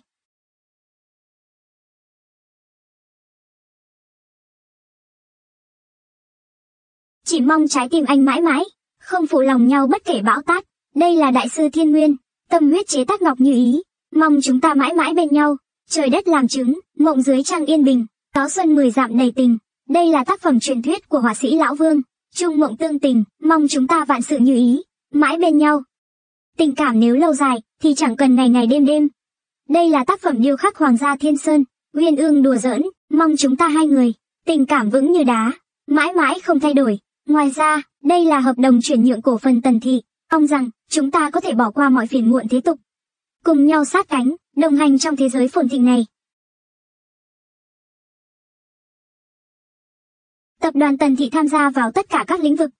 Trị giá hàng trăm tỷ, lại cho tiểu tử này, tần tiểu thư này, chỉ cần đưa ra một món quà cưới. Đã có thể vượt qua tổng tài sản của ba chúng ta. Thực sự là, tôi điên rồi hay là thế giới này điên rồi? Đại tiểu thư của tần gia, mang theo tiền xính lễ khủng, để cưới một kẻ tầm thường. chị, chuyện này, không thể nào, tôi không tin, ninh thần, anh ta chỉ là một kẻ đã bị tôi từ hôn. Tần đại tiểu thư, sao có thể để mắt tới anh ta? Câm miệng lại, cô còn không biết bản thân mình tệ hại thế nào. Ninh tiên sinh là người mà tiểu thư nhà tôi chọn, cô cũng xứng sao? Tần thập gì? Cô là có ý gì? Chuyện rõ ràng như thế này ông không nhìn ra sao? Tôi, đang cầu hôn người đàn ông tôi thích. Cầu hôn, Cô rõ ràng đã đính hôn với tiêu đại thiếu gia, bây giờ lại chạy đến cầu hôn người đàn ông khác. Làm sao? Không coi nhà họ tiêu chúng tôi ra gì sao? Ông nói về tiêu Minh Huy à? Một kẻ chỉ biết ăn chơi lêu lỏng, không biết điểm dừng. Có tư cách gì để trở thành chồng của tôi? Hơn nữa, tại sao tôi phải coi nhà họ tiêu ra gì? Cô có biết tiểu tử ninh thần này, chính là người nhà họ ninh sót lại. Với nhà họ tiêu là kẻ thù không đội trời chung, không cần ngươi nhắc nhở, tôi biết rõ nguồn gốc của ninh thần, hơn bất cứ ai. Năm xưa Ninh gia là gia tộc hàng đầu ở Kim Lăng. Tiêu gia các người để nuốt chửng họ, liên minh với Hắc Long hội và họ Giang, Chu, Lý ba gia tộc, không tiếc giết chết 73 người của Ninh gia, và còn đổ tội lên đầu Ninh thần. Tất cả mọi chuyện này, tôi đều rõ ràng, năm đó nhà họ Ninh bị diệt. Phía sau còn có một bí mật, không ai biết điều này, không trách Ninh tiên sinh, luôn đối đầu với nhà họ Tiêu, thì ra như vậy, Tiêu gia ở kinh đô, thực sự chết không đáng tiếc. Đừng để bị cô ta lừa, năm đó Ninh gia bị diệt. Chính là Ninh thần làm, đúng, Giang gia chúng tôi trong sạch, sự việc đó không liên quan đến chúng tôi. Đúng vậy, Chu gia chúng tôi là người có đạo đức, không thể làm ra chuyện hại trời hại đất như vậy. Cô Tần, cô đừng vì mình là tiểu thư nhà họ Tần, thì có thể nói lung tung. Tôi có nói lung tung hay không, các người tự biết trong lòng. Tần thập diện, cô cố tình đối đầu với tiêu gia, bảo vệ tiểu tử này sao? Tiêu thiên tạc, ông quá hạ cao bản thân rồi, chỉ là một tổng quản của tiêu gia, cũng dám nói vậy với tiểu thư sao? Hỗn dược, một kẻ hạ nhân. Một kẻ hạ nhân, dám nói chuyện với bố nuôi tôi như vậy. Anh là cái quái gì chứ? Cũng dám chỉ trích người của tôi. Bố nuôi, cô ấy cũng đánh tôi. cầm miệng, thứ mất mặt. Tần thập diện, tôi xem trọng mặt mũi tần gia, không muốn xung đột với cô. Hôm nay, tôi có thể không giết ninh thần, nhưng công thức đan dược, là thứ tiêu gia chúng tôi muốn, phải được đưa ra, tiêu gia muốn có, thì nhất định phải đưa ra à. Hôm nay chỉ cần tôi ở đây, các anh cứ thử động thủ xem. Chỉ cần tôi ở đây, các anh cứ thử động thủ xem, cô. Được lắm. Sự kiện hôm nay, tôi sẽ báo cáo về nhà họ tiêu, các người cứ chờ xem. Đi thôi. Bố nuôi, chỉ thế này thôi sao, bố nuôi. Sư phụ, nhóm người này cần phải bị chặn lại không? Tại sao phải chặn, cứ để họ về báo tin, như vậy mới có, cá lớn cắn câu, sư phụ quả là cao kiến. Chờ đã. Họ có thể đi, tôi có nói các người được đi không? Cậu còn muốn gì nữa? Khi nhà họ anh bị diệt vong, ba người các người đã chiếm đoạt tài sản của chúng tôi. Chia chắc mọi thứ của Ninh gia. Những năm qua, chắc hẳn các người đã thỏa sức hưởng thụ. Có phải đã đến lúc trả lại với lãi cho tôi không? Nói láo, chúng tôi có được ngày hôm nay, đều do cần cù và nỗ lực, có liên quan gì đến nhà cậu. Tiểu tử, đừng nghĩ có tiểu thư tần gia chống lưng, à cậu có thể làm càn, chúng tôi không sợ cậu, thật sao?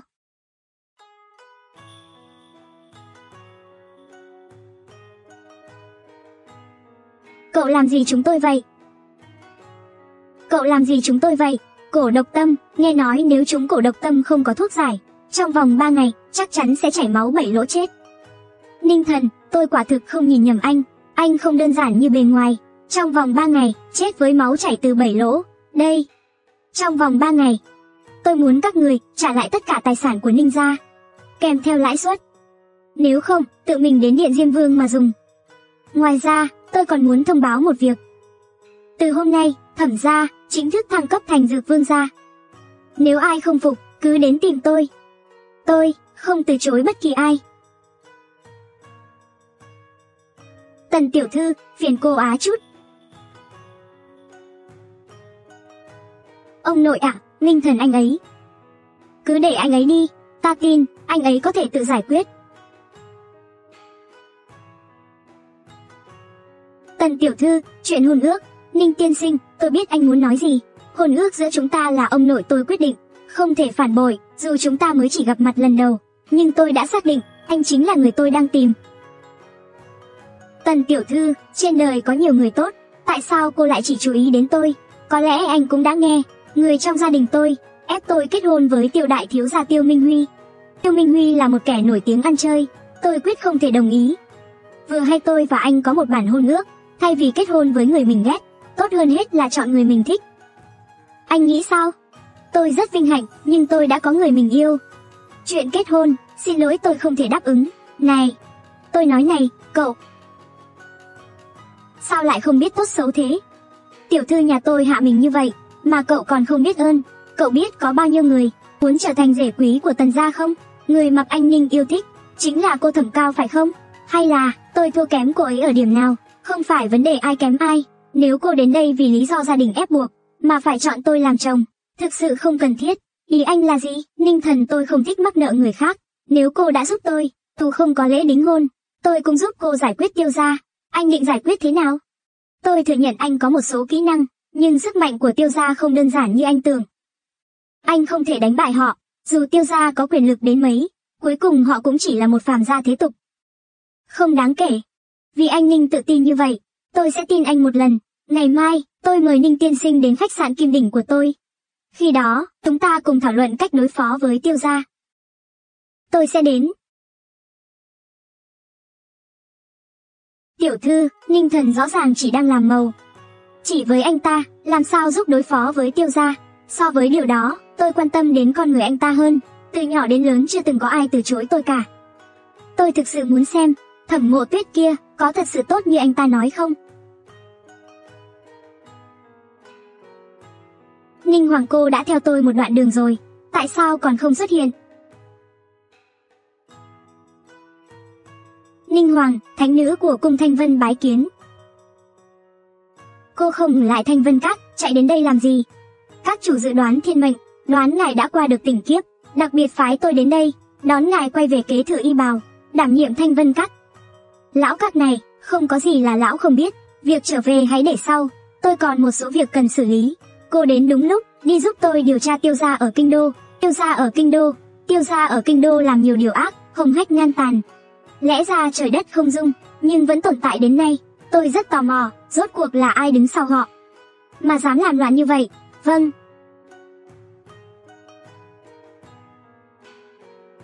Ninh thần, trước đây anh vì tôi mà từ chối tiểu thư tần gia. Anh có hối hận không? Hối hận, tại sao phải hối hận? Nghĩ mà xem, tiểu thư tần thập diện đó, dù là về thân phận, hay về tài lực, thế lực, mọi khía cạnh đều tốt hơn tôi, nhưng anh lại chọn tôi. Điều này khiến tôi cảm thấy, cao giao, cô không cần tự ti. Trong mắt tôi, cô Mã là người tốt nhất. Về những thứ cô nói, thân phận, lý lịch hay tài lực, trong mắt tôi, chẳng đáng một xu, làm sao tôi có thể tốt như anh nói. Cô có, trước đây cô đã hứa, tôi và Tần Thập Diện hủy hôn thì có thể chạm vào cô. Tôi đã giữ lời hứa của mình, bao giờ đến lượt cô giữ lời. Nhưng mà, sao vậy, cô định lừa dối à? Tôi không có. Chỉ là... Đừng lo, tôi sẽ rất nhẹ nhàng.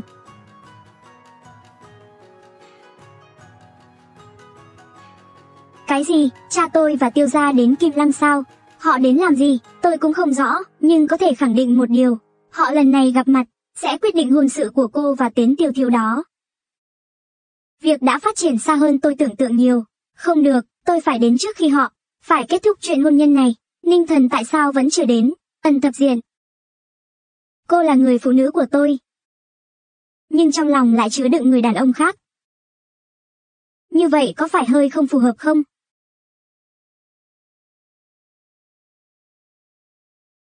Tiêu Minh Huy anh đến đây làm gì? Cô không phải là không biết chứ? Cô, đêm đêm từ kinh đô chạy đến Kim Lăng, chẳng qua chỉ là muốn trốn tránh hôn ước với tôi, và tôi đến, chỉ là muốn nói với cô. Muốn trốn à? Không thể nào. Và còn, tên ninh thần cô vừa nhắc đến trước miệng. Chính là, anh là vị hôn phu trước đây của cô ấy phải không? Có vấn đề gì sao? Anh thật là người thông minh. Cô biết đấy, mối thù giữa tôi và ninh thần, dù cô có không muốn kết hôn với tôi đến mấy, cũng không cần phải chọn một kẻ vô gia cư, một thứ bại hoại không trốn dùng thân để trốn tôi vậy. Tiêu thiếu gia, đừng tự ảo tưởng. Việc tôi tìm ninh thần là vì tôi có hôn thư với anh ấy. Còn anh, không có liên quan gì cả. Những mánh khóe của cô, có thể lừa được người khác, nhưng muốn lừa tiêu minh huy tôi. Cô còn non và xanh lắm. Tôi khuyên cô, đừng có quá nhiều dính líu với ninh thần. Nếu không tần ra không thể bảo vệ cô đâu. Ninh thần, càng không thể bảo vệ cô, người ninh thần tôi muốn bảo vệ, chưa bao giờ là không thể bảo vệ. Người ninh thần tôi muốn bảo vệ, chưa bao giờ là không thể bảo vệ. Ninh thần, cuối cùng anh cũng đến, anh là ninh thần sao? Tên mồ côi của ninh gia à? Không nói gì khác, chỉ nói, bây giờ tiêu gia tôi đang tìm kiếm anh khắp nơi, anh vẫn dám xuất hiện công khai. Chỉ nói về dũng khí này, Đáng được khen ngợi, thật tuyệt vời, nếu tôi không xuất hiện công khai, làm sao có thể dụ dỗ được con cá lớn nhà họ tiêu gia. Anh đến giờ. Trong lòng, không còn giữ những ảo tưởng không thực tế nữa chứ, tôi đã nghe tiêu tổng quản nói rồi. Hôm qua, anh làm loạn tiệc dược vương, làm cho tiêu gia mất đi ngôi vị dược vương. Nhưng điều đó có là gì? Đúng vậy, anh thực sự có chút tài năng, nhưng... Điều đó không đủ để lung lay nền tảng của tiêu gia. Chưa đủ để, anh chống lại tiêu gia tôi. Cậu tự tin như vậy sao? Ninh thần, tôi vừa nhận được tin, tiêu gia đã cử toàn bộ người đến Kim Lăng, như vậy chính là đặc biệt đến để đối phó anh. Ồ, tần tiểu thư, cô không cần phải gắn vàng lên mặt anh ta, lần này tiêu gia của chúng tôi đến Kim Lăng, đối phó anh, chỉ là việc tiện tay, quan trọng hơn là, để gặp gỡ thiếu chủ của Thanh Vân Các. Thanh Vân Các, môn phái tu tiên trong truyền thuyết, không sai, những ngày này, một tin tức về Thanh Vân Các, làm rung động cả Bắc Nam, lão chủ nhân của Thanh Vân các từ chức, để cho một người kế thừa thay ông ấy, lên nắm quyền, lúc đó, toàn bộ lực lượng của Kim Lăng sẽ được sắp xếp lại. Điều này có liên quan gì với việc đến Kim Lăng? Tất nhiên là có liên quan, chúng tôi nhận được tin tức, thiếu chủ của Thanh Vân Các hiện tại đang ở Kim Lăng, nếu tiêu gia của chúng tôi dựa vào cái cây lớn này, tự hỏi, cả đất nước Kim Lăng này. Ai dám tranh phong với tiêu gia của tôi chứ? Ai dám tranh phong với tiêu gia của tôi chứ? Cậu dựa vào gì mà nghĩ thiếu chủ của Thanh Vân Các? Sẽ tiếp kiến tiêu gia, chỉ dựa vào chúng tôi, tất nhiên không đủ để thu hút họ. Nhưng, Chỉ cần tần gia và tiêu gia liên hôn, lúc đó, hai gia đình hàng đầu ở kinh đô liên kết mạnh mẽ. Dù anh ta là thiếu chủ của Thanh Vân Các, cũng phải nể mặt chúng tôi, vì vậy, chúng tôi đã đặc biệt chuẩn bị buổi tiệc Thanh Vân. Chân thành mời thiếu chủ Thanh Vân Các. Làm chứng cho hôn lễ giữa tần gia và tiêu gia, còn anh, chỉ là một con kiến bé nhỏ mà chúng tôi có thể nghiền nát một cách dễ dàng. Không trách bố tôi không quản, đến Kim Lăng cùng bọn họ, hóa ra vì chuyện này, bây giờ anh cũng biết rồi đấy. Anh, và tiêu gia tôi có khoảng cách thế nào, đừng tưởng rằng anh cố ý làm loạn ở đây, có thể khiến chúng tôi tức giận đến mức mất kiểm soát. Anh à, ngay cả việc tiêu gia tôi. Nhìn anh một cái cũng không xứng, thật ngu ngốc, ban đầu Thanh Vân Các được thành lập, là để loại bỏ cái ác, mà người khác không dám loại bỏ. Tiêu gia các người tàn sát người lương thiện, mất hết nhân tính, không thể kể xiết, chỉ cần hiểu một chút về lễ nghĩa, liêm sỉ, ai cũng sẽ tránh xa. Nếu chủ nhân Thanh Vân các trẻ tuổi, giúp một gia tộc bị cả thế giới ghét bỏ, và mọi người đều muốn trừ khử, thì đó chẳng phải là trò cười của thiên hạ sao? Hỗn xược, tiểu tử, cậu là cái thá gì, mà dám phê bình chủ nhân Thanh Vân các? Chán sống rồi à, ngươi cũng là cái thá gì, mà dám chỉ trích ta? Này, Ninh Thần, anh có phải rất muốn biết, tiêu gia tôi tiêu diệt gia đình anh, sao vẫn có thể nhở nhơ, không bị luật pháp trừng phạt không? Bởi vì người chúng tôi dựa vào, chính là Thanh Vân Các. Ý cậu là gì, vậy thì tôi sẽ cho anh chết một cách rõ ràng. Tiêu gia chúng tôi, có người ở Thanh Vân Cát, đảm nhận vị trí quan trọng, buổi tiệc Thanh Vân lần này, cũng chính là do anh ta xúc tiến. Nói cách khác, dù tiêu gia chúng tôi phạm bất cứ tội ác lớn lao nào, phía sau luôn có người chống lưng, đây. Vị đạo trưởng Bạch Hạc này, chính là chứng nhân tốt nhất, tôi là người của ngoại giáo Thanh Vân Các, nhận mệnh bảo vệ tiêu gia ở Kinh Đô, nghe nói cậu trước đây tại bữa tiệc dược vương, khiến tiêu gia mất mặt hoàn toàn.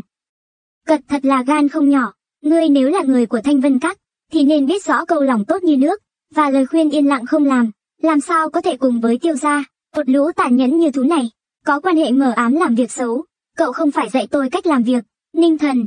Vị đạo trưởng Bạch Hạc này, khác hẳn với những người anh đã gặp, ông ta là người thực sự tu luyện, anh không thể chọc vào ông ta, nếu như chúng ta những người tu luyện, đều như ông ta.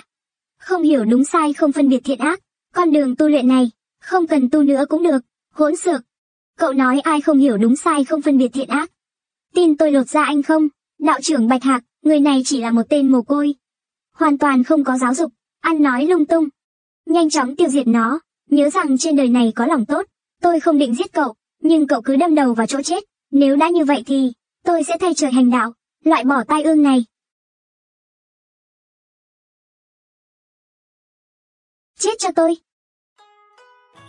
Chết cho tôi! Một con sâu gióm, cũng dám làm hại đến ta. Đạo trưởng Bạch Hạc, ông có ổn không? Tu vi của tôi. Tại sao, cậu có thể dễ dàng hủy bỏ tu vi của tôi? Điều này, điều này không thể nào. Xem xét việc ngươi làm việc cho Thanh Vân Các, ta chỉ là phạt ngươi một chút. Nếu sau này dám làm việc xấu, ta sẽ tự tay thanh lý môn hộ nhà ngươi. Và cậu nữa, quay về nói với Tiêu Thần Sơn. Ông ta muốn mượn tay thiếu chủ Thanh Vân Các, để cho tiêu gia đứng vững giữa muôn loài, tôi sẽ tự tay phá hủy giấc mơ đẹp đó của ông ta. Biến đi. Cậu rốt cuộc là ai, muốn biết à? Sớm thôi ngươi sẽ tự hiểu, đợi đấy nhé. Ninh thần, tôi, tần tiểu thư, tôi hiểu tâm trạng của cô khi muốn vượt qua khó khăn. Nhưng xin cô hãy bình tĩnh. Hôn thư này tôi không thực hiện được, nhưng tôi sẽ giúp tần gia cô, tôi sẽ không nuốt lời. Ninh thần, đến lúc này rồi anh còn nói to mồm. Chẳng lẽ, anh nghĩ đã đánh bại được một người của Thanh Vân Các? Đã coi thường tất cả như vậy, những người như Bạch Hạc kia, tiêu gia có đầy giấy, Thanh Vân Các cũng vậy, anh nghĩ mình có thể đối đầu với toàn bộ Thanh Vân Các sao? Tôi tất nhiên không thể tiêu diệt hết Thanh Vân Các. Nhưng với quan chức mới có ba việc phải làm, Thanh Vân Các lâu nay lơ là quản lý, hiện giờ chính là bề ngoài hào nhoáng bên trong đổ nát, đã đến lúc cần phải làm sạch sẽ. Mặc dù tôi không biết sao anh tự tin vậy, nhưng tôi sẽ đứng về phía anh. Tiểu thư, sao cô cũng... Để tôi lấy tiêu Minh Huy, thà bảo tôi chết đi, dù sao cũng chết, tại sao tôi không thử liều lĩnh, ít nhất còn có một tia hy vọng. Cô Tần quả nhiên dũng khí, kể từ khi cô chọn tin tôi, tôi nhất định sẽ làm được, tôi sẽ giúp cô ngồi vào vị trí số 1 của Tần gia. Từ nay về sau, không còn ai có thể kiểm soát cô nữa. Tôi rất mong đợi,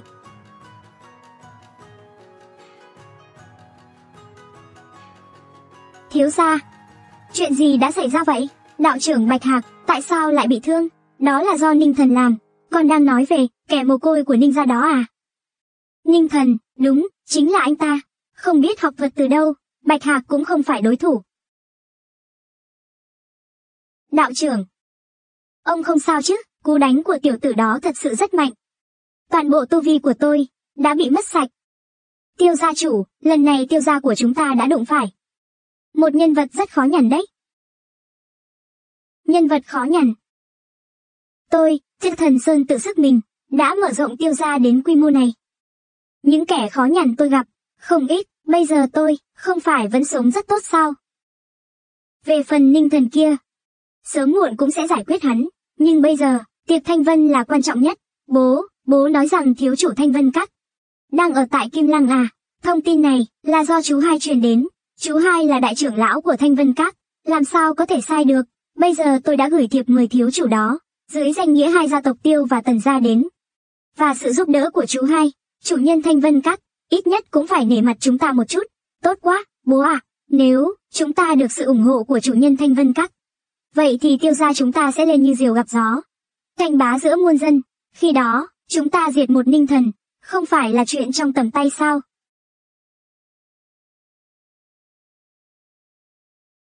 Chủ nhân, đã điều tra rõ ràng, chỗ dựa lớn nhất của tiêu gia, chính là người của Thanh Vân Các, tiêu nhị gia tiêu Luân Hải. Bây giờ đã trưởng lão trong nội giáo, năm đó ninh gia bị diệt. Cũng chính là tiêu Luân Hải thúc đẩy, quả nhiên là hắn. Tiêu Luân Hải tài năng bình thường, thế mà có thể trong vòng 30 năm ngắn ngủi, từ một đệ tử ngoại môn, ngồi lên vị trí trưởng lão. Có thể thấy hắn rất âm hiểm. Không trách được đã nuôi nấng tiêu gia độc ác vậy. Đây là thẻ thanh vân mà Luân Hải nhờ tôi chuyển. Ông ta muốn mời anh, đến tham dự tiệc thanh vân, chứng nhận hôn lễ của tiêu gia. Tôi tu luyện nhiều năm ở thanh vân các, chưa bao giờ để lộ mặt, tiêu gia chắc chắn sẽ không nghĩ đến, người mà họ muốn định bợ, chính là chủ nhân của thanh vân các, là người sống sót cuối cùng của ninh gia, mà năm đó họ tiêu diệt. Vậy có từ chối không? Tại sao phải từ chối? Tôi đang lo không biết làm sao bắt được tất cả họ. Họ đã tự động gõ cửa, truyền lệnh, ba ngày sau tại tiệc Thanh Vân, tôi sẽ trực tiếp đến hỗ trợ tiêu gia, tiện thể giúp họ thanh thiên luôn. Vâng.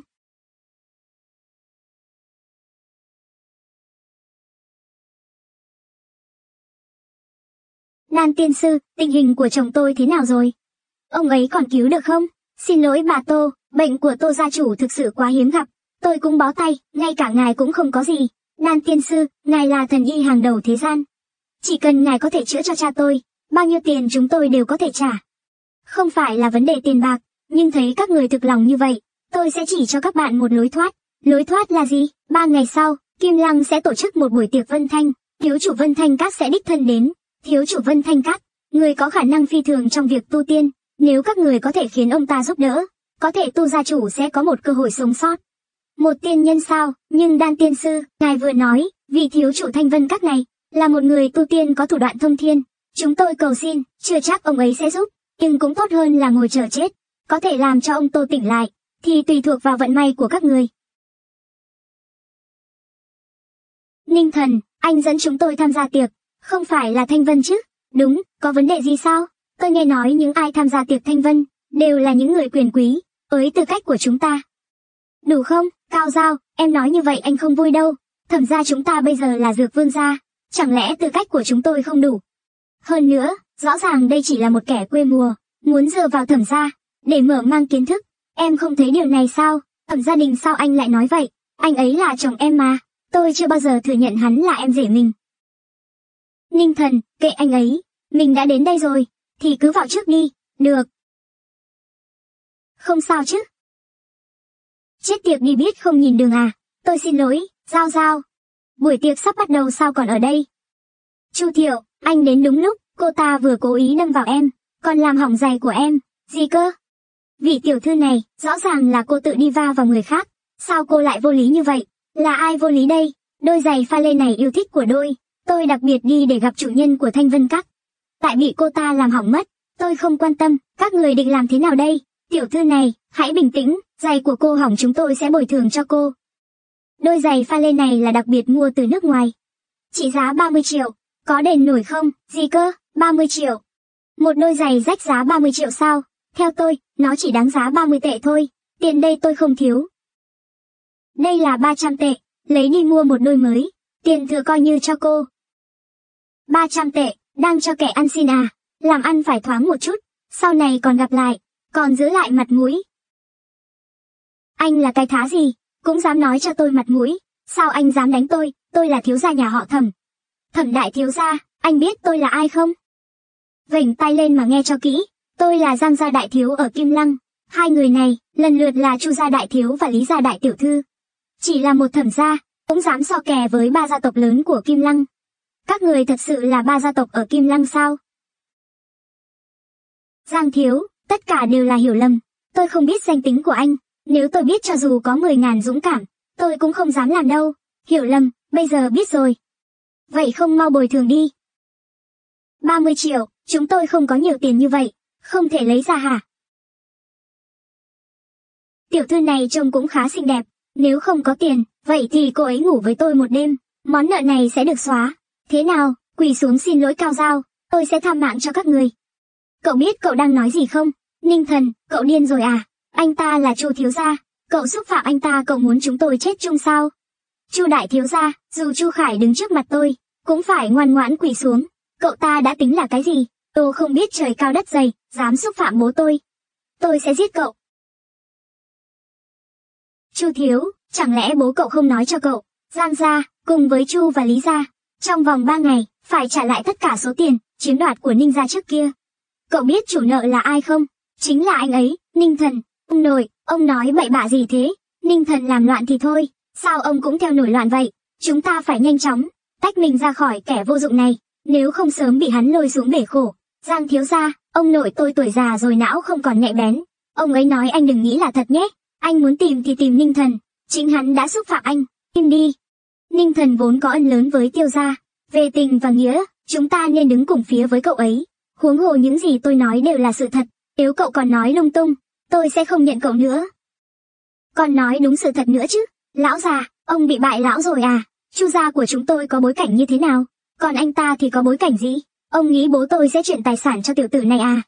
Ông đang mơ mộng à? Đúng vậy, chúng tôi, Giang, Chu và Lý gia, là ba gia tộc lớn. Chưa kể chúng tôi còn có sự hậu thuẫn của tiêu gia. Chỉ riêng ở Kim Lăng này, chỉ có Hắc Long hội mới sánh ngang. Bảo chúng tôi chuyển tiền cho anh ta, anh ta xứng đáng sao? Xứng đáng không, cô có thể gọi Giang Khải Chu Minh và Lý Triệu đến. Và tự mình hỏi họ xem, anh nghĩ tôi sợ à?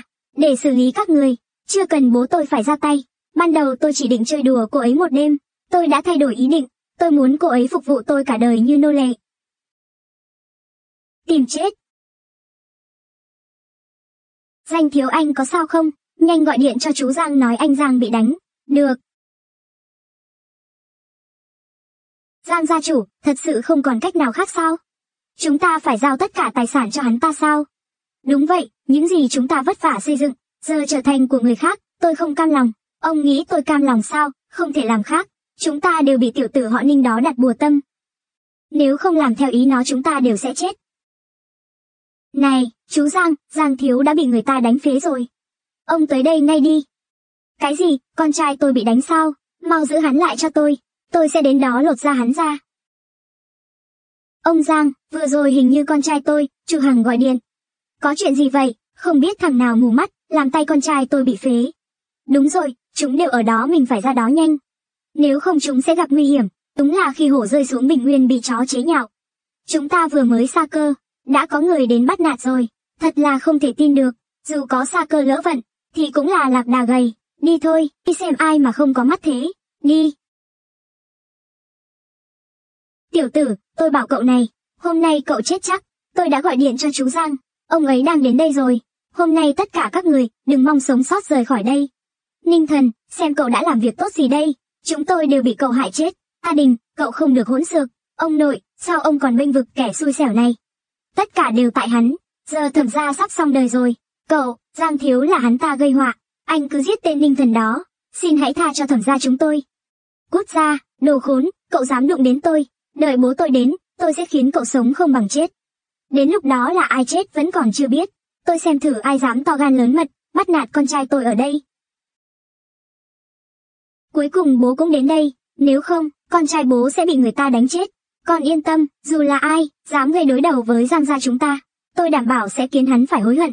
Bố sao bố cũng đến vậy, tất nhiên là đến để bảo vệ các con, chưa đến năm chuột mà, một số kẻ mặt mũi giống chuột. Dám nhảy nhót lung tung, thật là không biết sống chết. Đúng vậy, tôi cũng muốn xem, rốt cuộc là ai không biết điều. Ba vị chủ nhà, chính là hắn, kính tiểu tử này đã làm gãy tay Giang Thiếu. Tôi đã khuyên rồi, vậy mà hoàn toàn không cản nổi. Ai vậy, ăn gan hùm tim báo rồi sao? Dám động vào con trai tôi? Quay lưng lại đây để tôi xem là con chuột nào. Quay lại đây quỳ xuống cho tôi. Muốn tôi quỳ xuống, ông dám nói lại một lần nữa không? Ninh, Ninh, đúng vậy bố, hắn tên là Ninh Thần. Hắn vừa nói muốn giết hết chúng ta, còn muốn chúng con quỳ xuống. Bố mau dạy dỗ hắn đi, dạy dỗ tôi ư, hỏi xem họ dám không? Đồ không biết trời cao đất dày, bố tôi đang ở đây anh còn dám ngang ngược, thực sự muốn chết lắm sao? Im miệng. Bố, sao bố lại đánh con? Chú Giang, chú đánh nhầm người rồi, là tiểu tử này bắt nạt Giang thiếu, chú phải đánh nó mới đúng. Cậu cũng im đi, bố, bố điên rồi à sao lại đánh con? Tại sao? Vì hắn là người mà cậu không thể chọc vào. Ba vị gia chủ, các người có phải đã nhầm không? Tên Ninh Thần, chỉ là một kẻ quê mùa, không có bất kỳ quan hệ gì, sao mà không thể chọc chứ? Thẩm gia đình, cậu im miệng lại. Ông nội, nếu ông muốn chết cùng hắn thì thôi đi, sao còn kéo tôi theo làm gì? Tôi còn muốn sống, tôi tuyên bố từ hôm nay, tôi, gia đình, chính thức rời khỏi thẩm gia. Từ nay về sau, sinh mệnh của thẩm gia không còn liên quan gì đến tôi. Đi ra, thằng khốn nạn này, nhanh chóng đến đây quỳ xuống xin lỗi ba vị gia chủ đi. Đi chỗ khác đi. Nếu anh không muốn sống nữa, tôi sẽ chết anh bây giờ. Ông Lý, sao anh đánh tôi vậy? Tôi đang giúp ông mà. Không cần anh giúp, anh có biết, anh ta là ai không hả? Hắn ta có thể là ai chứ?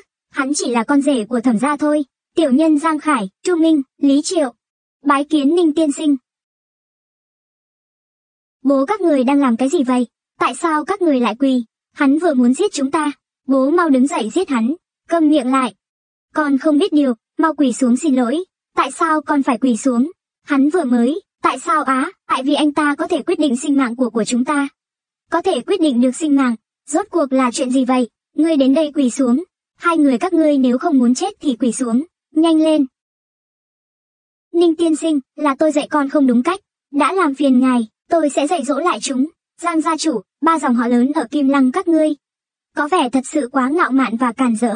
Với ngươi dạy ra ba đứa con vô lý hống hách như vậy. Ninh tiên sinh, xin hãy tha cho tôi lần này. Ninh tiên sinh, xin đừng tàn nhẫn quá mức. Xin ông hãy khoan dung. Một ngày, tôi cho các ngươi một ngày cuối cùng. Giao tất cả tài sản của các ngươi ra cho tôi. Nếu không thì cứ chuẩn bị chôn cất chính mình đi. Vâng vâng, tôi sẽ về lập tức chuyển tất cả tài sản. Trả lại cho ngài luôn. Biến. Còn đứng đó làm gì, đi thôi. Bố, chúng ta không thể đi con còn đi dự tiệc nữa. Ôi, con gái của tôi ơi, bữa tiệc thanh vân gì nữa, phải giữ mạng trước đã đi thôi, đi thôi. Vậy bây giờ cậu còn muốn, tách quan hệ gì với tôi nữa không? Em rể, anh sai rồi, vừa rồi là anh không nhận ra chân long, hóa ra em biết bọn họ, vậy mà em không nói sớm, vừa rồi anh suýt nữa đã hiểu lầm em, suýt nữa sao, cái suýt của cậu cũng khá nhiều rồi đấy, ôi đã không còn sớm nữa rồi, yến tiệc sắp bắt đầu rồi, chúng ta nhanh vào thôi, vào thôi, đứng lại, tôi nhớ có người vừa rồi đã nói, chính thức rời bỏ nhà họ thẩm. Từ đây, sống chết của nhà họ thẩm không liên quan gì đến hắn ta nữa. Vậy anh định tham gia yến tiệc thanh vân với tư cách gì? Ninh thần, ý cậu là gì? Cậu định xem tôi như người ngoài sao? Ông nội, ông xem cậu ấy kìa, cậu ta mới vào nhà họ thẩm đã muốn làm chủ rồi. Ông cũng không nói gì sao? Nhớ kỹ, Ninh thần đã là người của thẩm gia, sao có chuyện lật đổ chủ nhà? Ngược lại, là cậu, sau yến tiệc thanh vân, bạn về nhà lấy sổ hộ khẩu, chúng ta cùng nhau hủy bỏ hộ khẩu của cậu. Sau này nếu cậu vẫn tự xem mình là người thẩm gia, tôi sẽ đánh gãy chân của cậu. Ninh thần, đi thôi. Không được, anh là anh trai ruột em.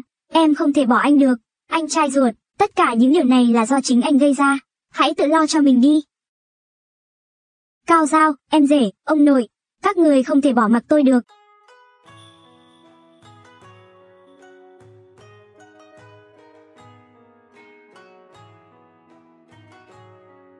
Em trai tình trạng của ông ấy thế nào rồi? Người đó cực kỳ độc ác, đã phá hủy toàn bộ tu vi của ông ấy. Nhưng tôi đã sử dụng kỹ thuật cấm của Thanh Vân Các. Phục hồi được 8 phần tu vi của ông ấy. Cảm ơn đại trưởng lão, cảm ơn tiêu gia chủ. Không ngờ, ninh gia năm xưa bị diệt vong, để lại hậu họa như vậy. Tiêu gia chủ, đây là hậu quả của việc không triệt để tiêu diệt. Bây giờ giết nó cũng không muộn. Hôm nay là yến tiệc Thanh Vân, chỉ cần chúng ta nhận được sự ủng hộ của thiếu chủ. Bằng cách liên hôn để liên minh mạnh mẽ, thử hỏi thế gian này, ai còn có thể tranh đấu với chúng ta? Đúng vậy, thiếu chủ của Thanh Vân Các, thừa hưởng trọn vẹn bí truyền của lão chủ. Nghe nói gần đây đã vượt qua ba thử thách lớn, thành công gia nhập hàng ngũ tiên nhân. Với sự hiện diện của ông ấy đừng nói ninh thần, nhìn khắp chín châu bên ngoài, cũng không ai dám chống đối tần gia và tiêu gia. Chỉ là, tần gia chủ, con gái của ông, tần thập diện, có vẻ không đồng ý với cuộc hôn nhân này. Điều này không do nó quyết định, dù là muốn hay không muốn cũng phải cưới. Bữa tiệc thanh vân sẽ sớm bắt đầu, chúng ta tới đó thôi, tuyệt đối không được phép làm lỡ hẹn với thiếu chủ. Đây chính là bữa tiệc thanh vân sao? Xứng đáng là bữa tiệc do thiếu chủ của thanh vân các tổ chức. Với quy mô này, thực sự làm người ta phải thán phục. Thiếu chủ của thanh vân các sắp tiếp nhận vị trí chủ nhân. Đây là lực lượng lớn nhất trong chín châu, những người đến hôm nay không chỉ là những người phàm tục, mà còn có người trong giang hồ, có lẽ tất cả đều muốn thấy dung mạo thật của thiếu chủ. Đứng mỏi chân quá chúng ta nhanh tìm chỗ ngồi đi. Đúng vậy, những chỗ này các người không đủ tư cách để ngồi. Lâm Đại Thiếu, Lâm Thiếu, chỗ ngồi này có gì đặc biệt không? Đương nhiên, yến tiệc thanh vân này, những nhân vật lớn từ khắp nơi tụ họp, thấy chiếc ghế kia không? Đó là ghế lòng tựa chúng tôi, chuẩn bị cho thanh vân thiếu chủ. Chỗ ngồi ở đây cũng được phân chia thành 3 cấp độ. Càng gần sân khấu, địa vị cũng theo đó mà tăng cao. Tôi cũng chỉ vì mặt mũi đan tiên sư mới cho các người vào.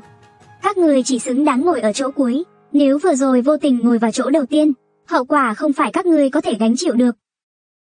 Thì ra có quy tắc như vậy, may mà Lâm Thiếu nhắc nhở, nếu không chúng tôi không giữ được mạng mất. Nhưng ngồi ở chỗ cuối, chúng tôi làm sao tiếp cận được Thanh Vân Thiếu Chủ, tôi còn muốn nhờ Thanh Vân Thiếu Chủ, cứu mạng chồng tôi nữa. Ban đầu tôi muốn ban cho tô ra các người một cơ hội, nhưng các người lại coi như giày rách, giờ lại chạy đến đây xin tôi cứu mạng, các người không thấy. Điều này rất buồn cười sao? Ninh thần, làm sao anh lại xuất hiện ở đây?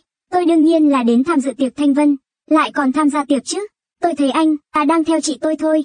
Ninh thần à, anh luôn nói không hề có ý định với chị tôi, nhưng mỗi lần chị tôi xuất hiện ở đâu, anh như người mùi mà đến.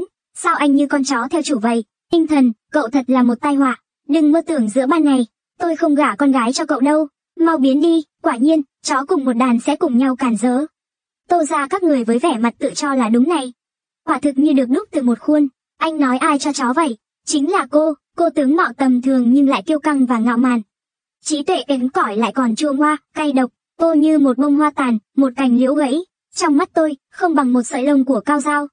Tố dĩ như, tôi thực sự không biết cô đang tự hào về cái gì.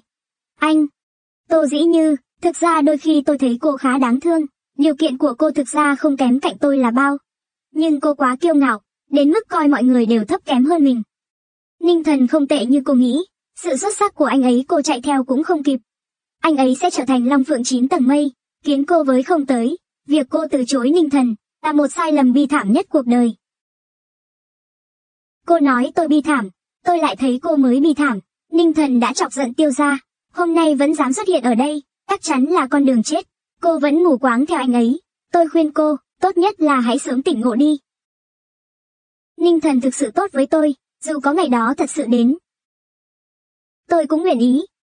Được rồi, được rồi, thật là một cặp uyên ương, sẵn sàng sống chết cùng nhau. Tôi thực sự ngưỡng mộ cậu, dù cậu biết hôm nay đến mà không thể quay về, vẫn dẫn người phụ nữ mình yêu nhất đến để cùng chết. Có lẽ nên khen cậu dũng cảm, nhưng thiếu suy nghĩ. Tại sao ngươi lại chắc chắn rằng người chết tối nay là tôi? Chứ không phải là bạn, tất nhiên là cậu. Có lẽ cậu cũng đã nghe, Tiêu Gia và Thanh Vân Các có mối quan hệ sâu đậm. Tiêu nhị đại tiêu gia, là đại trưởng lão của Thanh Vân Các. Chỉ dựa đây, cậu nghĩ mình còn đường sống sao? Và ngược lại, trong bữa tiệc Thanh Vân này, chỉ cần một câu của tôi, có thể chấm dứt đường sống của tất cả các người. Ha ha, ôi, làm sợ hết hồn rồi. Ha ha, Ninh Thần, cậu biết mình đang nói gì không? Vậy mà chỉ với một câu, có thể giết chết tất cả chúng tôi, cậu có khả năng đó không? Ninh Thần, anh tưởng mình là ai vậy? Anh nghĩ mình là Thanh Vân thiếu chủ à? Anh nghĩ chúng tôi sợ anh chắc. Thay vào đó, tôi đang rất mong đợi, mấy người các ngươi, làm thế nào mà lẻn vào đây được.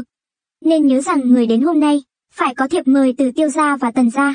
Thiệp của cậu đâu đưa đây tôi xem. Tham dự yến tiệc Thanh Vân cần có thiệp mời sao?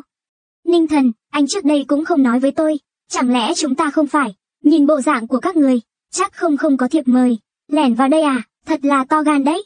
Ôi chao, không được mời mà tự tiện lẻn vào đây, thật là mất mặt, thẩm cao giao, Cô vừa nói tôi sẽ hối hận, nhìn xem tình hình bây giờ, cuối cùng người hối hận là ai? Ninh thần, chúng ta không có thiệp mời. Đột nhập vào yến tiệc thanh vân, bị họ phát hiện, không có kết cục tốt đẹp không nên ở đây lâu. Chúng ta đi thôi. Ông định làm gì? Ông coi đây là nơi chợ búa à? Muốn tới thì tới, muốn đi thì đi, này. Ông nội yên tâm, chúng ta không cần phải đi đâu. Dù sao yến tiệc thanh vân thiếu tôi, cũng không thể bắt đầu. Không biết sông chết, hôm nay hoặc là xuất trình thiệp mời, hoặc là đưa mạng ra. Lin thiếu, anh không cần phải nói nhiều với họ. Hắn chắc chắn không có thiệp mời, dám lén lút xông vào yến tiệc, trực tiếp giết, để làm gương cho người khác. Chỉ là một tấm thiếp mời tầm thường, ai bảo tôi không có, mở to mắt lên và nhìn cho rõ đây. Đây là cái gì? Thiếp mời Thanh Vân. Thiếp mời Thanh Vân của hắn là gì? Tôi vừa mới nói, người đến yến tiệc Thanh Vân được chia thành ba loại, thiếp mời cũng được phân loại. Nhà tôi nhận được thiếp loại 3, chỉ xứng ngồi ở ghế loại 3, mạnh như tiêu gia và tần gia, cũng chỉ ngồi ở ghế loại 1. Vậy thiếp mời Thanh Vân này nên ngồi ở đâu? Thiếp mời Thanh Vân là cao nhất trong tất cả, tất nhiên là đứng đầu mọi người, ngự trị thiên hạ. Nhìn xuống muôn loài. Cô nói nên ngồi ở đâu? Ngự trị thiên hạ, nhìn xuống muôn loài, chẳng lẽ là ngai vàng Thanh Vân? Vậy hắn không phải là Thanh Vân thiếu chủ sao? Hoàn toàn không thể nào, người này chỉ là một thằng ngốc từ núi ra, sao là Thanh Vân thiếu chủ được? Tôi không tin được, cô tô cô sở không thể xé. Sẽ bỏ thiếp Thanh Vân sự tội rất nặng, nếu tiêu gia và tần gia trách phạt, cả tôi và cô đều phải chết. Lâm Đại Thiếu, anh đã bị ninh thần, kẻ vô dụng kia, lừa rồi. Tôi bị lừa à, đúng vậy, anh còn không rõ bản chất của ninh thần sao, một tiểu tử từ nông thôn hẻo lánh không nói thì thôi. Hắn còn là dư tử của ninh gia ngày xưa đấy, người như thế làm sao có thể có thiếp mời được. Đúng vậy, anh vừa nói, thiếp Thanh Vân chỉ có Thanh Vân thiếu chủ, mới có quyền sở hữu sao.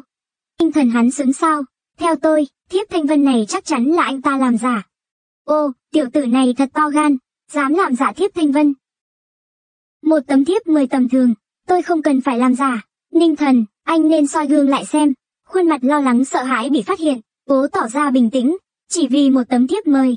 Vấn đề bây giờ là, anh còn không thể mang ra một tấm thiệp mời nào nữa. Ô, tôi hiểu rồi, bữa tiệc Thanh Vân này, tất cả những người đến, đều coi chủ nhân Thanh Vân các là người cao quý. Cậu muốn tận dụng cơ hội này để tìm một chỗ dựa. Cho mình một lối thoát, phải không, nhưng cậu không nên, bất kỳ giá nào cũng không nên. Cậu không nên giờ vờ là chủ nhân của Thanh Vân Các. Tội danh này không chỉ cậu, mà ngay cả thẩm Bách Xuyên, thậm chí cả thẩm gia, cũng không thể gánh vác. Tiểu tử này chính là Ninh Thần, tàn dư sót lại của Ninh gia.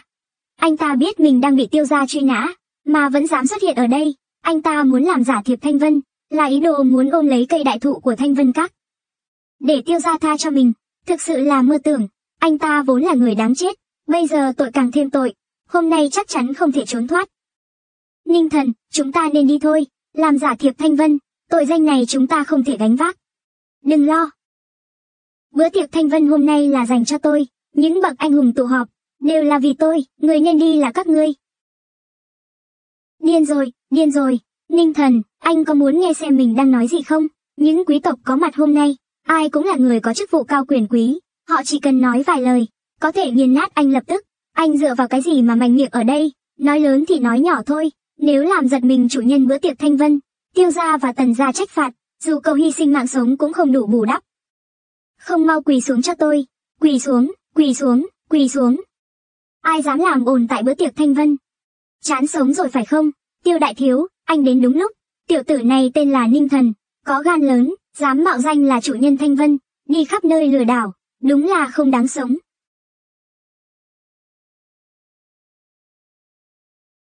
Ai làm ra việc này? Xin lỗi tiểu đại thiếu, chúng tôi không nên vứt rác bừa bãi, tôi sẽ dọn dẹp sạch ngay. Tôi đang hỏi anh, là ai xé ra?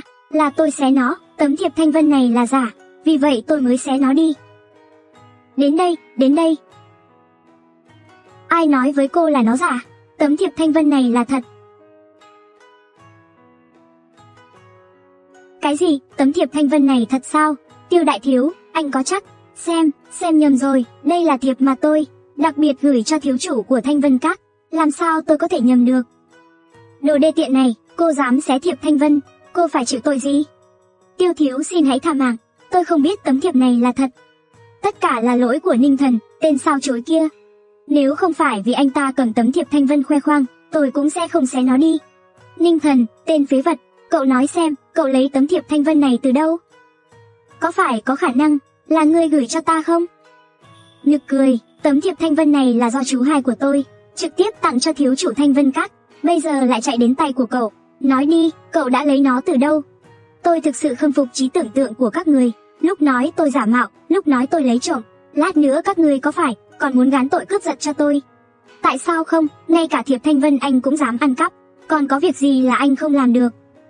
Ninh thần, anh thực sự là dũng cảm, ngay cả thiệp thanh vân, biểu tượng cho vị thế tối cao này, cậu cũng dám chiếm làm của riêng. Hôm nay nếu cậu không chết ở đây, thì trời cũng không dung. Hôm nay có tôi ở đây, xem ai dám động vào anh ấy. Mấy ngày không gặp anh có nhớ tôi không?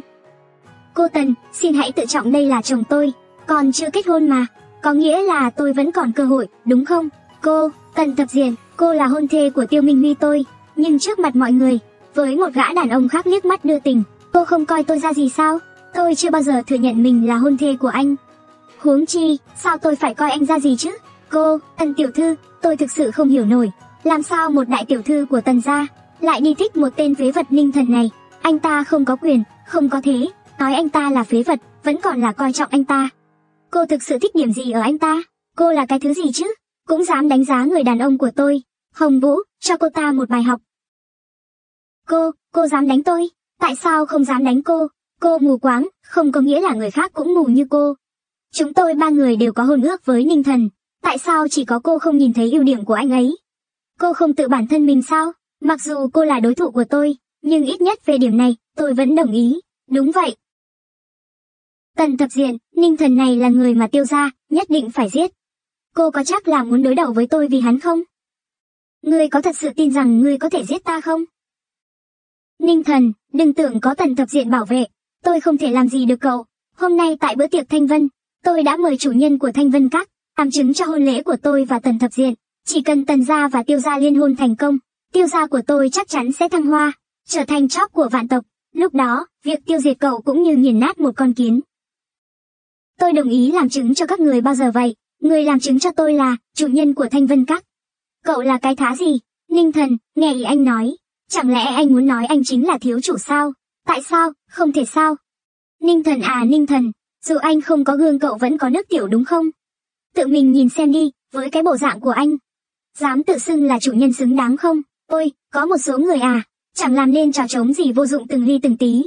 Nhưng hàng ngày lại mơ mộng, những giấc mơ không có thực này. Thật là tự làm trò cười cho thiên hạ. Ninh thần, chuyện khác tôi không nói, nhưng giả mạo chủ nhân Thanh Vân Các là tội lớn. Anh cần phải hành xử cẩn thận, nếu không, ngay cả tôi cũng không thể bảo vệ. Tần thực diện, cô bây giờ vẫn đang bảo vệ hắn sao?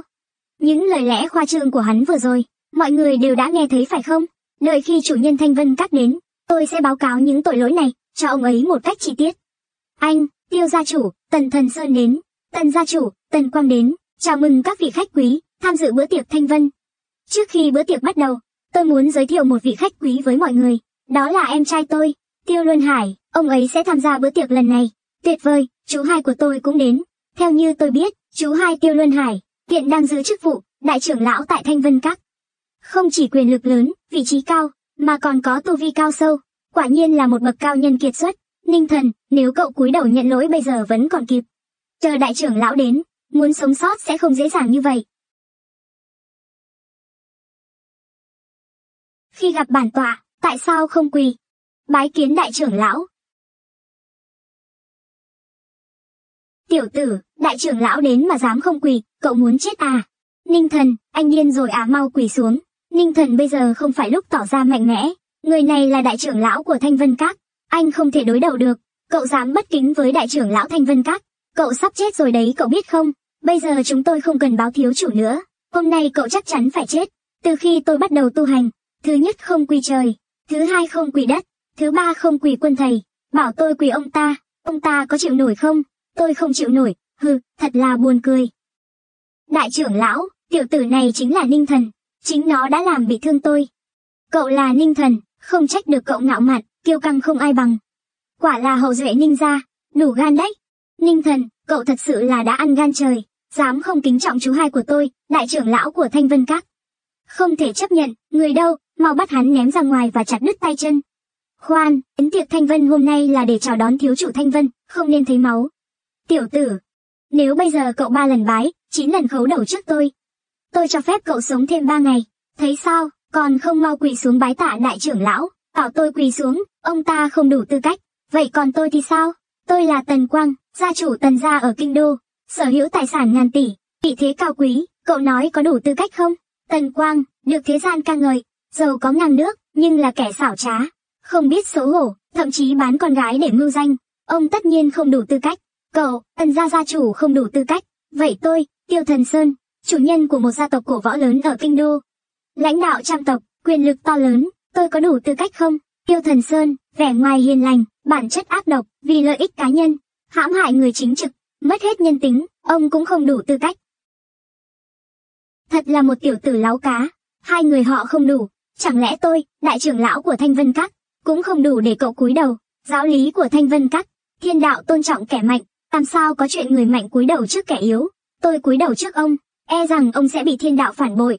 Tiểu tử này, làm sao biết được giáo lý của Thanh Vân Các, cậu còn biết về phản bội của thiên đạo, đúng, thiên đạo thực sự tôn trọng kẻ mạnh, vì vậy cậu cúi đầu trước tôi, đó là quy luật tự nhiên.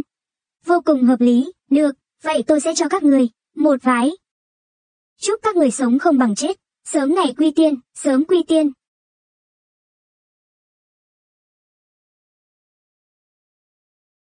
Một vái, chúc các người sống không bằng chết, sớm ngày quy tiên. Đệ đệ, đây là chuyện gì vậy? Tại sao tôi cảm thấy khí huyết đảo lộn, thì ra là địa long chuyển mình, tại sao thiên đạo lại đột nhiên đảo ngược, khiến đất đai nổi giận, tôi đã nói từ trước, thiên đạo tôn vinh kẻ mạnh, kẻ yếu dám phản trên, sẽ bị trời trừng phạt. Cậu nói linh tinh gì đấy, cái gì thiên đạo, đây chỉ là cơ duyên ngẫu nhiên mà thôi, cứ tiếp tục lễ bái đi, được, hai vái, chúc mọi người bị thiên lôi đánh chết. Không được chết tử tế.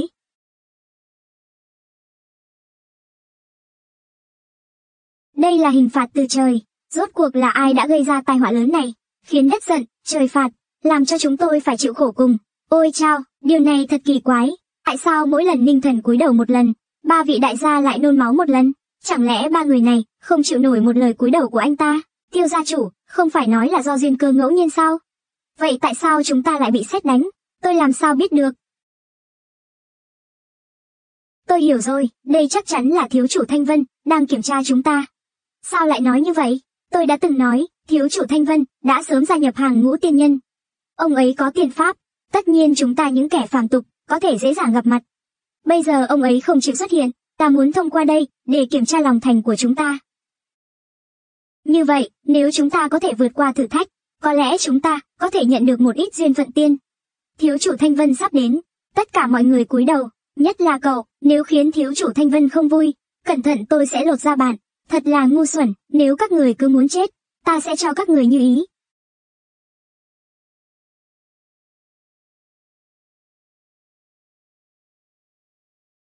Cửa trời mở to, đây là dấu hiệu của thiên tai ập xuống.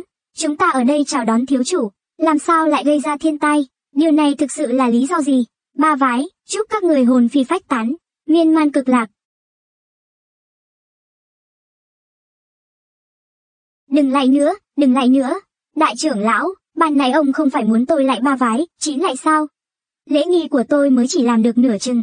Tại sao lại không vái nữa? Mau đứng dậy. Đừng vái nữa, chính chúng tôi đã hiểu lầm ý của thiếu chủ Thanh Vân. Yến tiệc Thanh Vân hôm nay là để chào đón ngài, không nên làm mất mặt ngài, chiếm lấy ánh hạo quang của ngài. Tiểu tử, đợi tôi gặp thiếu chủ Thanh Vân, để ngài điều tra tội lỗi của cậu, mọi chuyện sẽ do ngài ấy quyết định. Thánh nữ nhiệm hoàng của Thanh Vân giáo đến, có lẽ thực tế sẽ làm mọi người giật mình. Thánh nữ đến, thánh nữ của Thanh Vân Các đã đến, thánh nữ của Thanh Vân Các, luôn ở bên cạnh lão chủ. Sự xuất hiện của cô ấy, có nghĩa là thiếu chủ của Thanh Vân Các sắp đến. Thánh nữ đại nhân, dám hỏi thiếu chủ Thanh Vân Các đang ở đâu? Chúng tôi đã chờ đợi ngài từ lâu, thiếu chủ lầu Thanh Vân không phải đã đến từ lâu sao? Ở đâu nhỉ? Không thấy, ở đâu, ở đâu? Tại sao tôi không thấy ai? À, cơn giận của đất trời vừa rồi, thiếu thiếu đã chứng kiến hết. Ninh thần, nghe rõ chưa? Những hành động vô lễ của anh, thiếu chủ đã biết hết. Tôi xem anh chết thế nào đây? Im lặng, yến tiệc thanh vân thiêng liêng. Ai cho phép người ồn ào? Xin lỗi, xin lỗi tôi đã xúc phạm. Tiếp theo mời thiếu chủ lầu thanh vân lên sân khấu, ngồi vào chiếc ghế rồng thanh vân. Ninh thần, làm gì vậy?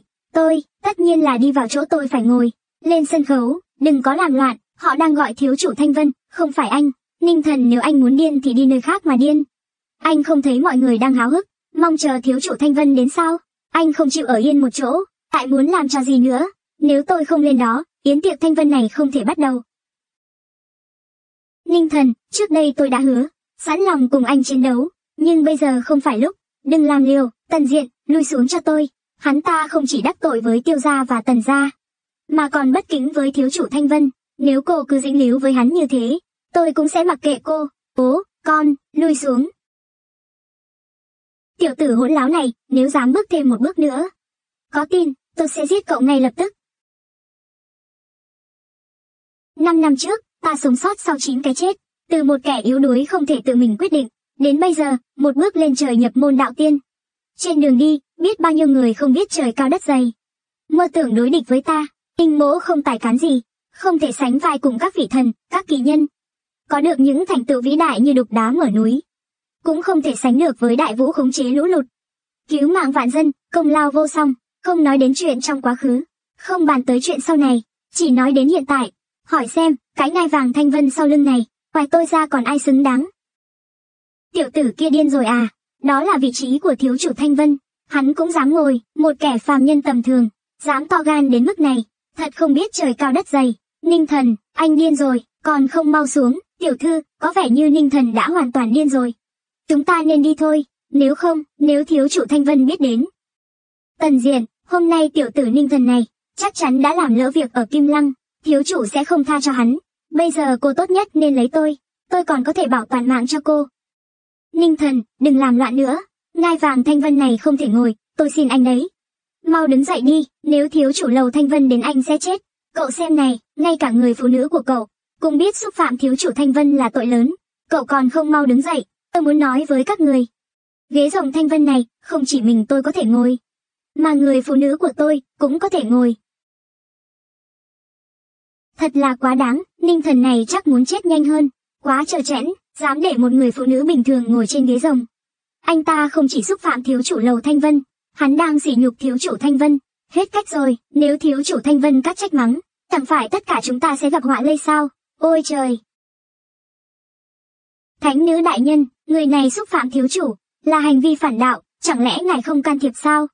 Tại sao tôi phải can thiệp? Thiếu chủ Thanh Vân cắt đã nhập đạo tiên, sớm coi những chức vị tục tằng này như giày rách, chỗ ngồi này giao cho người khác cũng không sao, nhưng người này chỉ là phàm nhân, lại dám hành động ngược thiên, chết không đáng tiếc, ngài không quản, thì tôi sẽ quản, Tiểu tử, mau chết đi. Nữ thần đại nhân, ngài, ý của ngài là gì? Thật là một đám người ngu ngốc. Đến giờ này rồi, liệu các người vẫn không biết anh ta là ai sao? Nữ thần đại nhân, ý của ngài không thể là, ninh thần tên phế vật này, có lẽ không có quá khứ kinh hoàng nào cả. Nữ thần nhiệm hoàng, bái kiến thiếu chủ Thanh Vân.